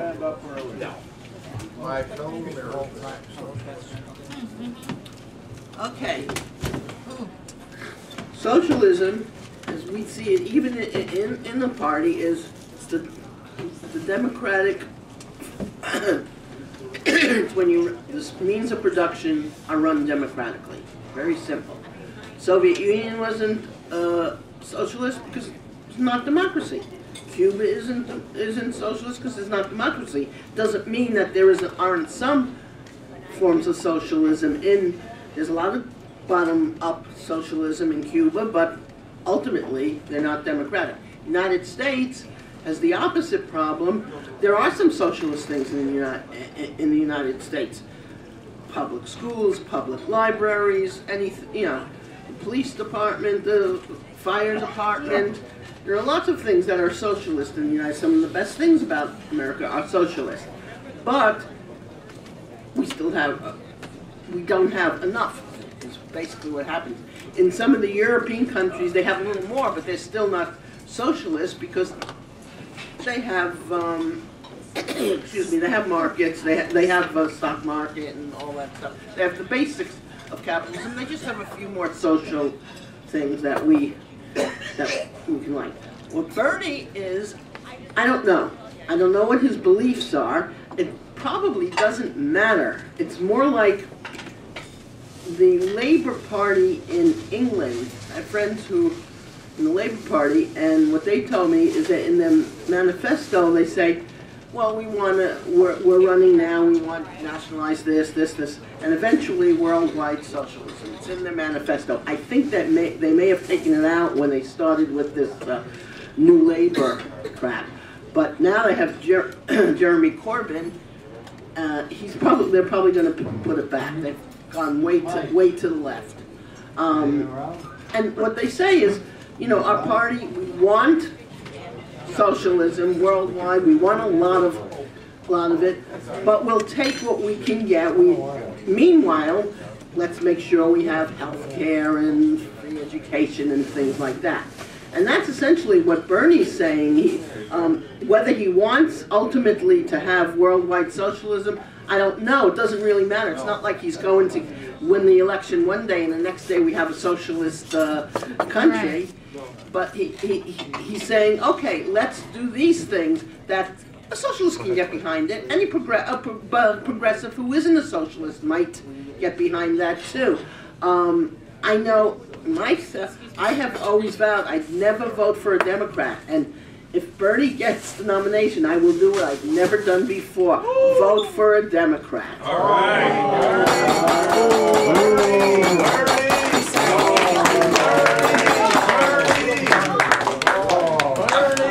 I'm going home now. Okay, I need some audience participation, so when I give you the, the nod, everybody in the room say, you don't have to jump off the cliff. All right, uh, Noam Chomsky is uh, famously quoted as saying that our elections are quadrennial electoral extravaganzas, like our wrestling matches, more than actual civics, uh, dialogues of ideas of which, which direction to go. And I kind of agree with that assessment. Uh, right in front of our very eyes right now, the uh, powers that be are commoditizing the air, the land, and the water. They're criminalizing our voices, our minds, our actions, and they're privatizing our budgets, our communities, and our futures. So that's not so much a political policy disagreement that Bernie has with most of the other candidates. He's recognizing treason and running against treason. Amen. Uh, he's setting off an alarm that there's something very wrong. And, you know, the population of the world is saying quite loudly, how much more proof do they need that a peaceful democratic system change is needed? And I think, you know, it, it serves it well to sometimes not just call it democratic socialism, but peaceful democratic socialism to undemonize the terminology that Reagan and the likes of Reagan, the, the ilk like Reagan and Nixon have been so successful over the decades. Every election, what we have basically is a scenario like this, where you have somebody with a blue, a blue shirt on the left and a red shirt on the right of a cliff. And they're basically trying to get the masses to come to the edge of the cliff and one of them will say, hey, if you jump over this end of the cliff by me with the blue shirt, uh, your quality of life for you and your family and community will go up. And uh, don't worry when you jump off the cliff, because I got this hang glider that I'll give you. It's not really assembled, but that's the red shirt's fault that it's not been assembled. So uh, you can jump over this side of the cliff, and you know it's going to be great. And meanwhile, the guy on the other side, the red guy, says, "Hey, I'll give you." If you jump over this side of the cliff, your quality of life of you and your family will dramatically increase. And I- I'll give you this parachute. Now, it's not, it's got a lot of holes in it, but that's not my fault. That's the blue guy's fault, right? And they both are trying to get us into this frenzy to make this real quick analysis without any thought put into it and without a real dialogue that they have in other industrialized countries. Some of them have been mentioned today. And meanwhile, there's the masses far away from the cliff because they haven't forfeited their common sense, saying to the rest of us, You don't have to jump over the cliff. louder, louder, you don't have to jump off the cliff. Okay, uh, the problem is most people don't know that those voices are saying that because the mainstream media is where a lot of people get their information. The community media says that all the time. You don't have to jump off the cliff. And I'd just like to say some of the examples of community media that we have here today. Uh, one of the publications, I have a whole list of them if you want to talk afterwards. In these times, we have some articles in the back that talks about Bernie's campaign without the filter of corporate media because they're scared to death of them. Uh, we need a new name for socialism in America, unfortunately, because the name, that there's nothing wrong with it, unfortunately, here has been demonized. So call it We the Peopleism, Peace on Earth, Goodwill Towards Allism, Apple Pie, Statue of Liberty, Baseball in the Summertime, Hug a Family Member, and Friendism, if you like. Uh, that's what democratic socialism at its best can accomplish, and Scandinavia is a proof of this. And everybody, anybody who's ever been to Scandinavia can attest that uh, most people don't move out of Scandinavia; they are living there for a reason. Um, and we're not saying perfectionism. We're not saying utopianism. We're not saying Shangri-Laism. That's very important. People are going to have to work their butts off, but at the end of the day, we'll be exhausted because we made our community great, not because we clocked off making some rich guy richer. That's a very different exhaustion at the end of the day, clocking out. Um, Martin Luther King Jr. was once quoted as saying, call it democracy or call it democratic socialism, but there must be a better distribution of wealth within this country for all God's children. Um, yeah, we forget so soon that this is at the center of us when we really get close to sh- finding our greatness and joining as one for it. Every uh, four years in the United States, uh, markets have a free exchange of ideas, but movements have an all-inclusive sharing of we-deas every second of the day. And uh, I'm very glad that the speaker was here today to remind us of that. All right, all right, Jonathan. All right. Don't jump off the cliff. All right. Jump off the cliff. Five minutes of ranting. Believe me, ladies and gentlemen, you'll jump off the cliff when somebody behind you pushes you. Uh, and I guess I'm opted to do some of the pushing tonight. I'm usually uh, pretty good at that and pissing people off here, and I might as well continue my uh, tradition of the college. First off, Charlie, you talk about socialism, but you're you're eligible for a government retirement check from federal employee service. Oh. If you're going to be a true socialist, are you going to give that check back? Yes, he will. I mean, obviously, you don't need it. We have a socialist retirement system that I helped implement. Well, you haven't been doing such a great job. I'm glad you're gone. I've been working at it for decades. You've been working at a lot of things, but nobody knows what it ever was. Uh, now, That's my retirement system. Now, Don't you know that? we they touched on every subject here tonight. By the way, in Flint, they didn't sell the water system. No. What happened in Flint was Flint wasn't paying Detroit for the water and expected the poor people of Detroit to provide Flint with free water. That's why they decided to cut the corner and take it out of the river again. Because they weren't going to pay for it. Well, you don't pay for it, this is what you get. Um, I disagree. About what? I mean, they weren't paying the bill, and Detroit cut them off. I mean, that's Water is a simple. human That's inaccurate. Water is a human right. Detroit doesn't own Lake Michigan. Neither does Chicago, but I notice all the suburbs out here all want Chicago You gotta water. pay somebody for water, like, yeah, that's capitalism. Well, I notice you pay your water bill, or you're gonna have a tough time with that apartment building of yours. Hey, you want some water, it's ten bucks. Detroit isn't on Lake Michigan. Here, you want some dirty, filthy water and pay the highest rates in the state? Eh. Here. Oh, well. Now what? You lost. Oh, I'm not quite done yet, believe me. Got Two minutes. I might have longer than that. You got three minutes. Hey, you gotta buy some water. Come on, dig in. Come on, dig in. To each, to each with their own. Now, I've heard everything maligned today, including the Catholic Church. I've got some news. I'm not in favor of a priest uh, sticking it to some little boy, but I noticed one thing that was never brought up. A lot of those little boys went home and told their parents and got whipped for it at home and sent back to the older boys again. Maybe their parents should have been charged too. You ever think of that? It's called child abuse. And it goes both ways. Now, as for our speaker here tonight, interesting speaker, but I'm not exactly sure what he said. Uh, I saw a lot of tail chasing, but I still don't know where he stands. Other than he doesn't like Bernie, apparently. Uh, when these, when this, when this meeting was first pu- published uh, by Charley, I expected this to be a Bernie fest tonight. I wanted to come down and listen to all the nuts for Bernie. Uh, I even voted for Bernie in Illinois because I wouldn't vote for Hillary and I didn't like the Republicans either. Good. But I know there's one thing. thing Bernie didn't win in Illinois either, did he? Um, He was trumped. They cheated on the votes.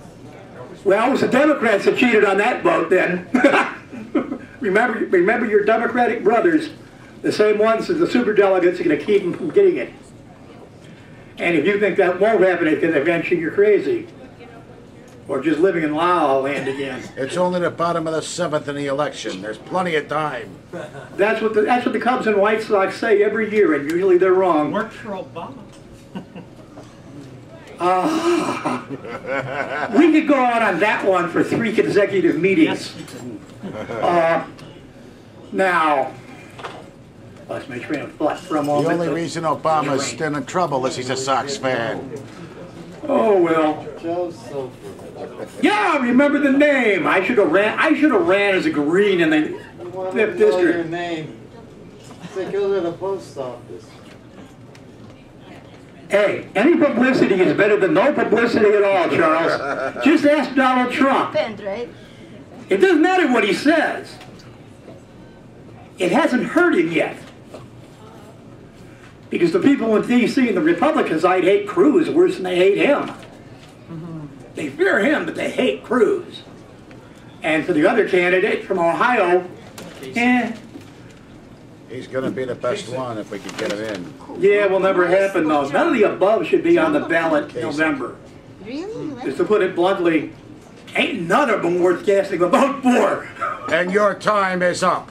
Oh, goody.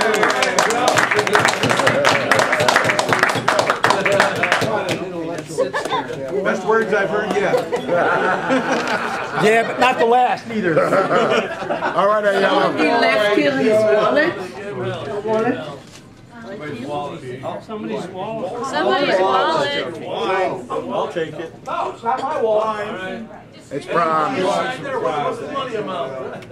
Okay, Ayala, five minutes. Um, those two points are about inconsistencies that I find. I, I'm with you in many ways, uh, especially the globalism and um, the environment that is fueled by profit and greed. But what bothers me, uh, two points that uh, kind of disturbing. Um, I asked you why not uh, Bernie and whether this is party politics. Um, you said something about, but he's, he's a rich guy. I don't know how rich he is. And the question is really, how poor do you have to be to be considered a socialist? How rich do you have to be to be excluded? Uh, it's kind of silly. Uh, in Cuba, they, um, I just came back last year from Cuba. And uh, in Cuba, the, the uh, average salary is $20 a month. I'm sure that you are very rich compared to a Cuban. And we're talking globally, right? So, so the issue is the disparity. It's the disparity, it's one is the distribution of, of rewards and capital, and the other is the commodification of labor and the consequent alienation, which is a subjective factor. Um, that's Marxist humanism. So those are the factors. Um, by the way, Cuba does allow now 20% of the restaurant business and some of the other essential like food um, to privatize. Um, mostly the privatization is through co-ops. Um, so that's a step forward. But yeah, Cuba was for all this time and still partly is a state capitalism, right? And that's where the question about the Soviet Union, Union too, uh, it was a state capitalism in the sense that there was one party, the Communist Party, that owned the capital and owned everything else. So um, if we are for the global look at the human condition, like you said, and you want to improve the human condition, looks like Bernie, that's what he wants, to improve the human condition. And he's pretty global, although he's talking about America, he's talking about racism, he's talking about gender equality, which is global issue. Um, so what is the ethics of a socialist? I think your ethic is the improvement of the human condition. That's a consequence. That's a consequence. We are looking at the consequence. However, your loyalty is not only to the party, but to a principle, a revolutionary principle, a revolution. Now, the question is, what do you anticipate will really happen in the next, I don't know, uh, four years, eight years, 20 years? Do you see a revolution happening here, the way the socialists define it?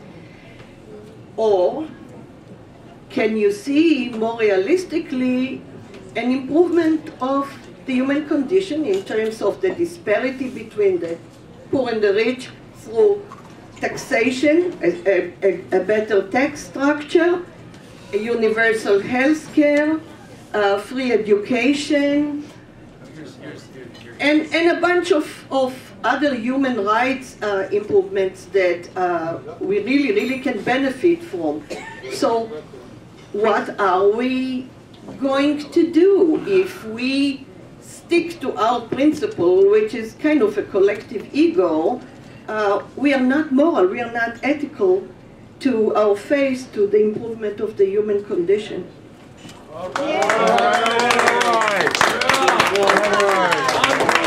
Right. Uh, okay, well, thanks for uh, interesting talk. Uh, as usual, made me think, and it takes stuff to make me think. But that's, that was good.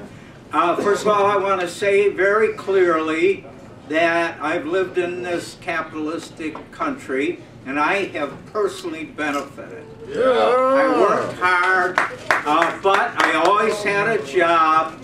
I've got more money than I need, or maybe more than I deserve. Give some over. I got uh, health care, uh, uh, a good pension, and a good place to live, so I've got no complaints. All right, Gene. I like, in fact, I love the college and complexes. It's not perfect, but it works pretty good, so this is not a criticism. The third thing is that my view of socialism would always include democracy and freedom. They got to balance each other.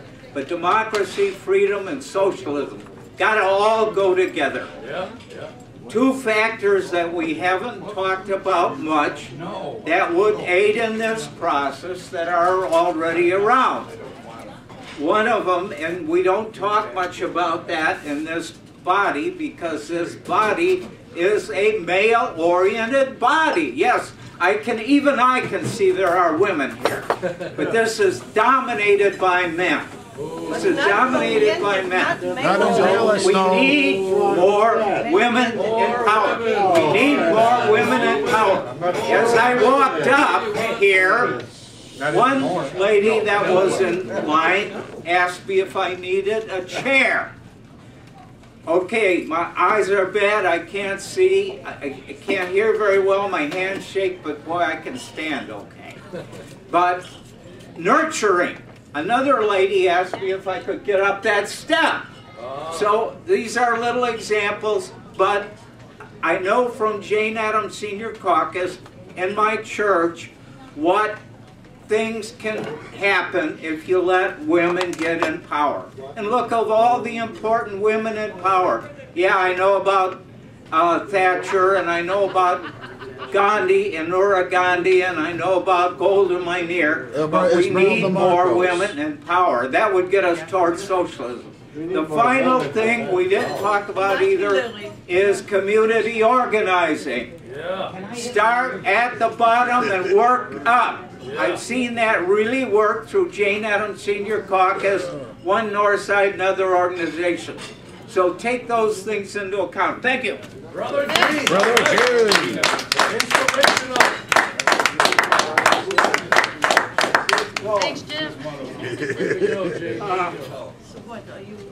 All right. The, uh, one of the laws that Lenin discovered was uneven development.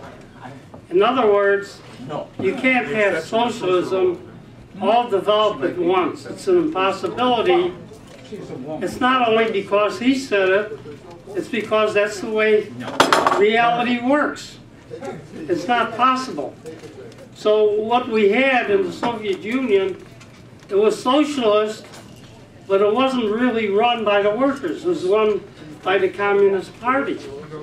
And they had, they didn't have no private property, or they didn't have uh, factories that were run by capitalists that made a profit, and therefore they had real wealthy people. They had some bureaucrats, of course, and the bureaucrats had a little more money than the other ones had. Uh, things of that nature.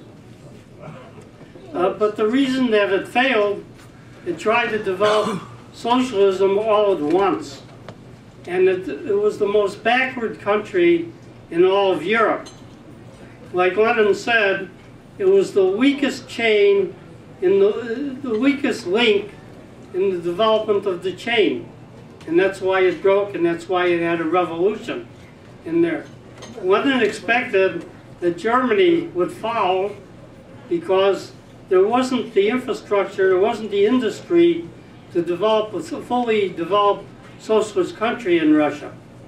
But we learned a lot from what happened in Russia. And now in China, they're experimenting with a different model, with a hybrid model. That is, they're trying to develop socialism with capitalism because they didn't have the wherewithal to start. The same thing like the Soviet Union, didn't have the wherewithal to start. Now, it's making um, uh, progress. I'm not saying it's socialist yet. Making progress. It's brought at least one third to maybe close to one half of the people out of poverty. And that's one billion point three. And that's an awful lot of people to be brought out of poverty. So it's making advances. And as far as Cuba, Cuba doesn't have anybody running in the elections like we do with, with money. What they do is they see if that person is fitted for that and is really de dedicated to solving problems in the socialist country or tendency to the socialist country to benefit the people. So all in all, we don't really have a fully developed socialist country in the world. But we're moving in that direction. Now, how far it'll get, whether or not the, uh, the world will end because of climate change, we don't know. But it's tending in that direction, and that's the movement that's uh, moving towards. And this will take a long time, and I, I expect what will happen in the future, and we could see it already, that the capitalist countries will implode after a while because of its economic difficulties.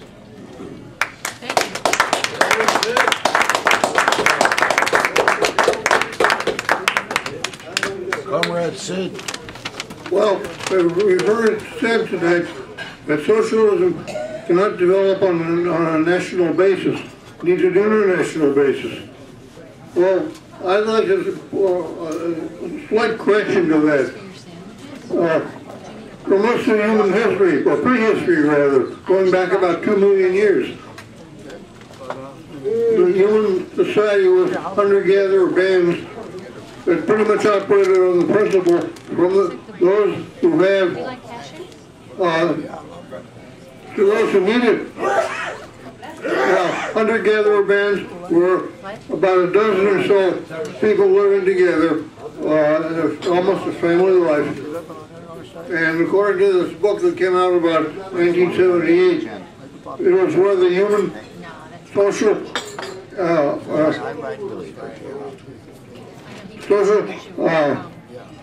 psychology developed. And then this band, social uh, hunter-gatherer band, we could do things by fiat. Each individual is abjectly dependent upon the band. Uh, and uh, when, uh, you had have sympathetic aggression, um, emotions to keep uh, have members of the band come to others' aid, and you had to have aggressive emotions to deal with cheaters. This book has a uh, couple examples of modern-day hunter-gatherer bands erupting in anger and unison when somebody was caught cheating, and that person was reduced to tears. And I think that, that what I see in all this stuff about socialism, I think that's what you're, you're you're acting out this ancient uh, uh, human social, emotional, and psychological development. Oh, that's baloney. That's not baloney. What do you know about it? You read the book? But anyway, uh, I mean, I, I, to me it's obvious.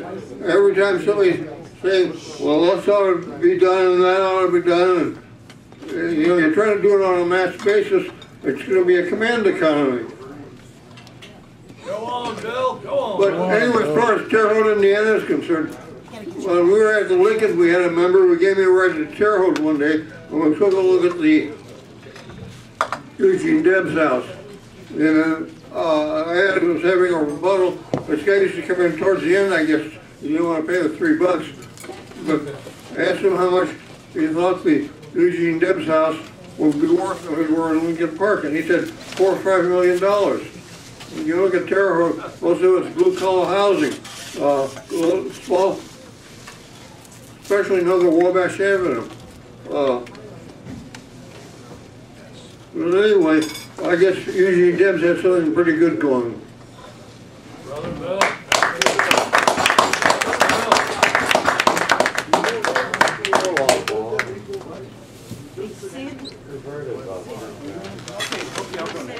All right.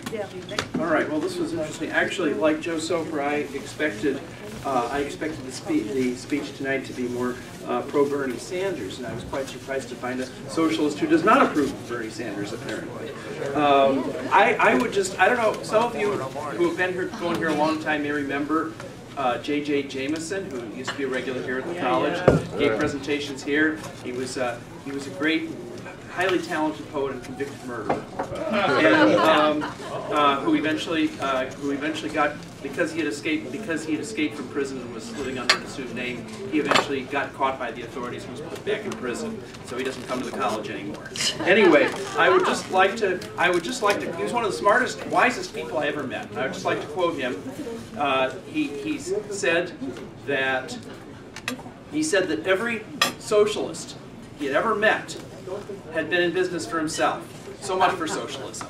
He also added that every anarchist he had ever met had taken money from the government. So much for anarchism. Now, that being said, um, I just wanted to, I'm kind of, like Charley is, I'm going to be kind of eclectic and skip around here. Uh, and, and, you mentioned, you, you, referred to Bernie Sanders as the first serious presidential candidate who was uh, not religious. Uh, we've actually had two guys that were actually president that, that were not that I know of who were not religious before Sanders. One of them was George Washington, and the other one was Thomas Jefferson. Now, um, now to get on to, um, I, would just also like to explain briefly something that I brought up in one of my questions: the German system of worker councils and co-determined boards. Now, uh, in Germany, there's a law that if a corporation is over a certain size, it um, and, and, and employs more than a certain number of people, uh, they have to have worker councils. This means that each workplace there's uh, there's a council of there's a council of workers who who who vote uh, and on on on things like hours and and and and, and things like that uh, and conditions of work. They also uh, every large German corporation half of the members of the board of directors have to come from the union that represents that corporation, the labor union. And, and so as a result, Germany has more Germany has more worker participation in, in, in its corporations, in its, in, its, in its businesses, its industry and so on, than any other country in the world. Probably even more than, than, than the Soviet Union did. Now, um, now um, I, am glad you mentioned the movie uh, Where to Invade Next by Michael Moore. I highly recommend it to everybody here. Uh, I just want to say that the um, that the nice prisons that Michael Moore covered were actually in uh, in Norway, not Sweden. Uh, I don't know what I have no idea what the prisons in Sweden are like. Now, um, I would also like to say somebody um, uh, one of the rebuttal speakers brought up the matter of Flint and its water supply. Now, the decision I just want to say that the decision to switch Flint's water supply from, from the Great Lakes to the Flint River was, was made by a city manager who was appointed by the governor of the state. The, because of financial difficulties that the city had, uh, there was a law passed. Now, okay, there was a law passed that in, in, that allowed the governor to take away the democratically elected government of the city and appoint a city manager who, who governs the city as a dictator. Uh, and this man is answerable only to the governor. Uh, my, my dad likes to call them the city gauleiters. and, uh, oh, you got it. Anyway, um, so it was the it was the city manager, or as my dad would put it, the gauleiter of Flint, who made the decision to switch the water supply. Mm -hmm. Yay! All right, all right, all right. Don Ritchie, next. Okay. Brom. Yay! Hey. Hey, for Brom. The final word. Next to the final. Right. I thought I got the final word. No, no. Uh, I our, the our, our speaker gets the final word. All right. Uh, I, uh, J.J. Jacobson. Uh, Jameson. Jameson. Jameson, yes. Uh, was called a murderer. He was convicted of murder.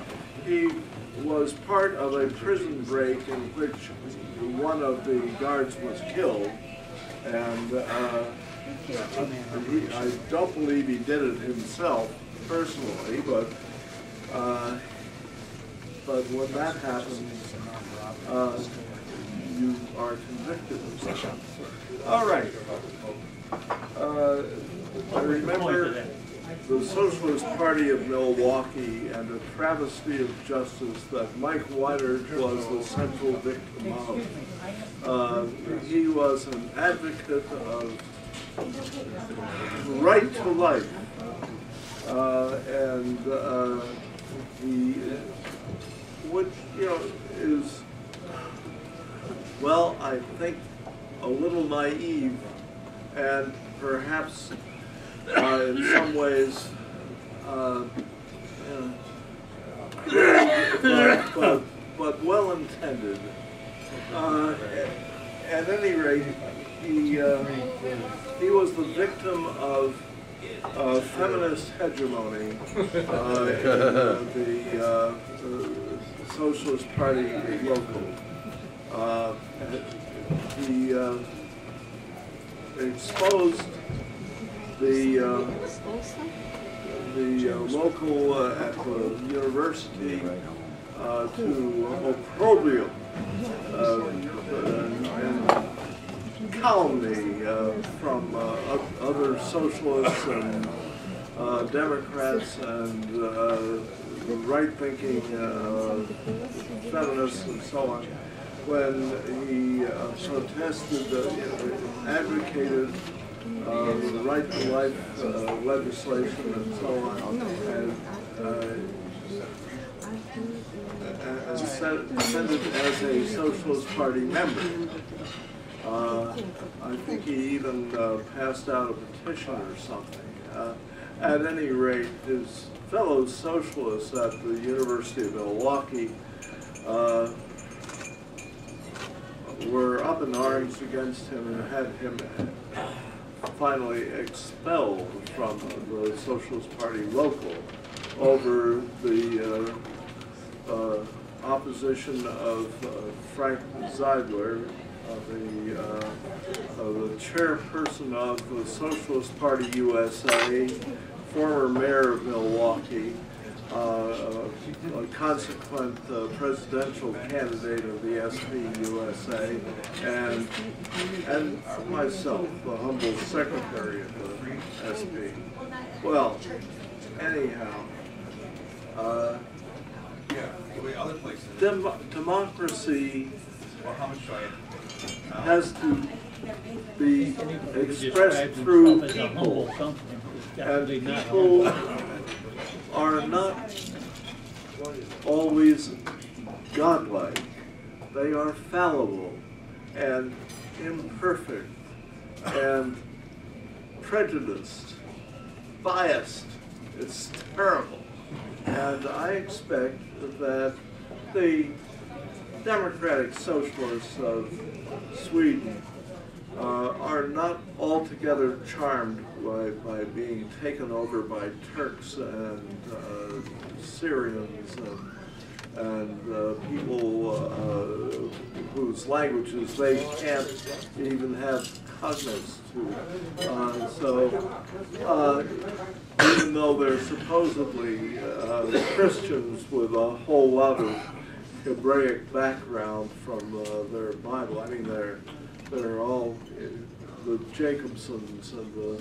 Uh, Yeah, it's the Jews' fault. uh, right. Well, at, at, at any rate, uh,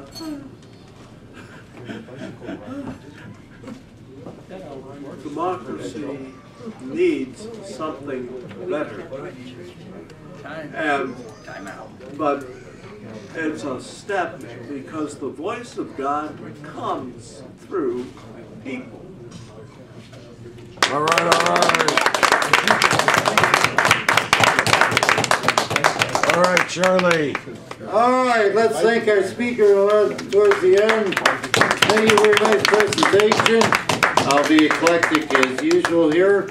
I've heard this thing about Bill Went and this tribe with the hunter-gatherers for, I don't know, 25 years.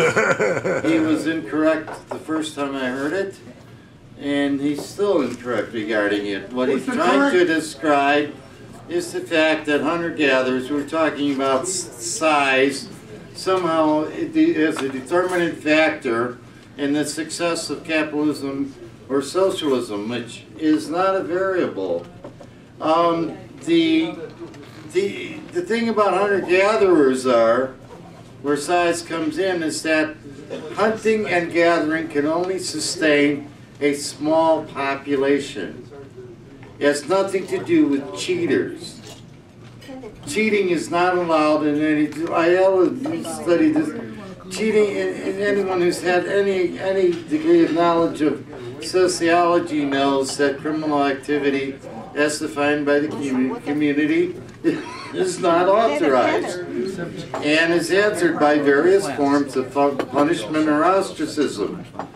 Now, the thing about hunter-gatherer tribes, or anyone who's studied any sort of ancient history knows, that it only can go so far as sus- sustaining a small number of people.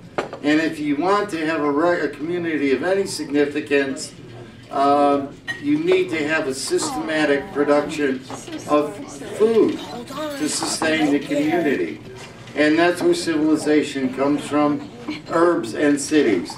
Now, all right, so that's out of the way. That's the thing. Now, the other thing is, if my friend Bill would kindly think about this, what if you have a society, he talks about cheaters, but in his economic studies, he never thought about what about if you have a society where there was an individual who did absolutely no work whatsoever, yet had all the hunters and gatherers supply him with, or her with food.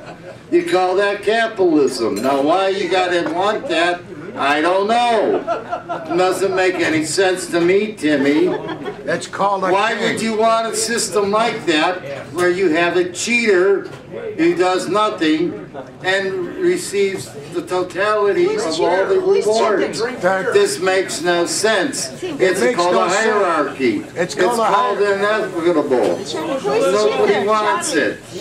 Who has a brain and intellect. It's ridiculous. If The you have a choice, in- would you want guy in that? charge. All right, too bad, pal. My microphone. No, I'm gonna let our speaker. Joe, are you here, Soper? You want a championship for Bernie? I'm gonna give it to you, boys and girls. Jim Bernie's won seven out of the eight past primaries. Some of them by significant margins, like 73% of the vote, 83% of the vote. All right.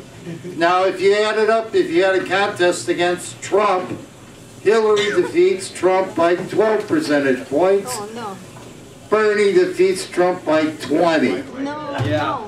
Um, it's only the If you're coming into New York, now this is a state where Hillary was senator for a couple years, lived there and so forth, and, and Bubba's still got his little organization there. Even then, she's sweating it out according to the emails, and she may lose her own state. Can you believe that? Doesn't look very good. Now, the delegates, as I spoke of in my lecture here on the primary process, are coming in and they're gonna look at who wins. Who's gonna win the election? These are seasoned politicos, and they can go whichever way they want, and they're gonna look at who's gonna win and, and what's gonna happen here. And they don't, they don't, so right, they feel the Bern. Yes. Now, last of all, here, um, what am I gonna talk about last? I forgot about Spaceship, alien. Aliens. Aliens. oh, Joe, now, we got together a number of years ago. I became an employee in the civil service. Uh, and I said, you know, there's something called a retirement system. And we worked with the employer over time and crafted retirement system. And that's socialism to me works. You say, well, it doesn't work. That's baloney, pal. It works for me every month when I get a nice chunk of money. and it will continue working. You know? and to tell me that socialism doesn't work, that's baloney. All right. Thanks a lot. And wait a minute, one other thing. Now I remember it. Listen, I don't want to hear this about I don't want to vote Democratic. Oh, move. Wait a minute. I will make. Walter Reuther said this. I remember Union leader, United Auto Workers. He said, "I'll make arrows out of any kind of wood." If I see a Democratic candidate, I don't care what that candidate is. But I'm going to tell you right now, there's a lot of good Democrats out there, and they need our support. And they're voting our way. And their heads and their hearts are in the right place. And I don't care what you are. If you think these Republicans, you take one look what's on the other side, And let me tell you, I've had to deal with these nutcases, Republicans. You would never, never, ever in your life vote Republican. Thank you.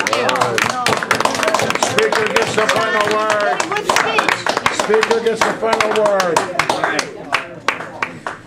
Okay, so I'm gonna summarize my point because I agree it was a little where I didn't, I didn't know where I was gonna end up. I, like I said, I proposed this two months ago and I thought the election would be locked up by Hillary. So I had to reevaluate that. And um, I, I have not voted for a Democrat for president since Dukakis. So it would be a change for me to decide to vote for Bernie. I didn't vote for Obama twice, and I feel bad if I decide, oh, now I'm going to vote for um, um, Bernie just because you know he, he he claims to be a socialist. Um, He has a good record track. he has a what? And, and I agree, but why did he, anyway, it, it, it, I, I became very unhappy with the Democratic Party in the 80s. Uh, of course, the Republican Party too, but, you know, I, I, I've never voted for a Republican, but I confess, when I was 18 or 17, couldn't vote, Reagan ran the first time, and um, my grandfather was a Republican, I was living with my grandfather, and I thought maybe Reagan was okay. I learned quickly that he wasn't. So anyway, politics in the United States is really a mess. All right, so I'm not saying that Bernie's a bad guy. I'm just saying I do not trust the Democratic Party. I don't trust the U.S. government. I don't trust the Congress. Yay. Don't trust these guys. So I believe in a third independent socialist party. That's why I've joined one, and that's what I'm dedicated to building. If Bernie wins, I, I'm, I think I'm open to reality. If Bernie wins, we will, it'll be a different ballgame, and I'll adjust my strategy as as I think it, it warrants. I'm not saying anybody who's disagreed with me or has decided to vote for Bernie is bad. I, there are people in my own organization who do that, and there are people in my organization who are more hostile and angry towards Bernie than I am. I'm not angry and hostile towards Bernie. I actually admire the guy for being an independent voice in the Congress for decades. I just don't quite understand. I mean, I understand his decision to run for president as a Democrat because he would have gotten nowhere if he'd run as a Green. I agree. And he's doing better than I thought. And maybe I have misjudged things. I'm open to that. You know, um, in the end, it'll be interesting to see how this thing plays out because I, I would not have expected Bernie to stay in this long or to do as well as he is. I still think it's stacked against him. I still think he's probably not going to get the numbers. But I could be wrong. And if, whether he gets a nom or not, we still need an independent socialist party in the United States that can run candidates at all levels. That's my democracy, right there. Okay? At least one part of my democracy. Thank you.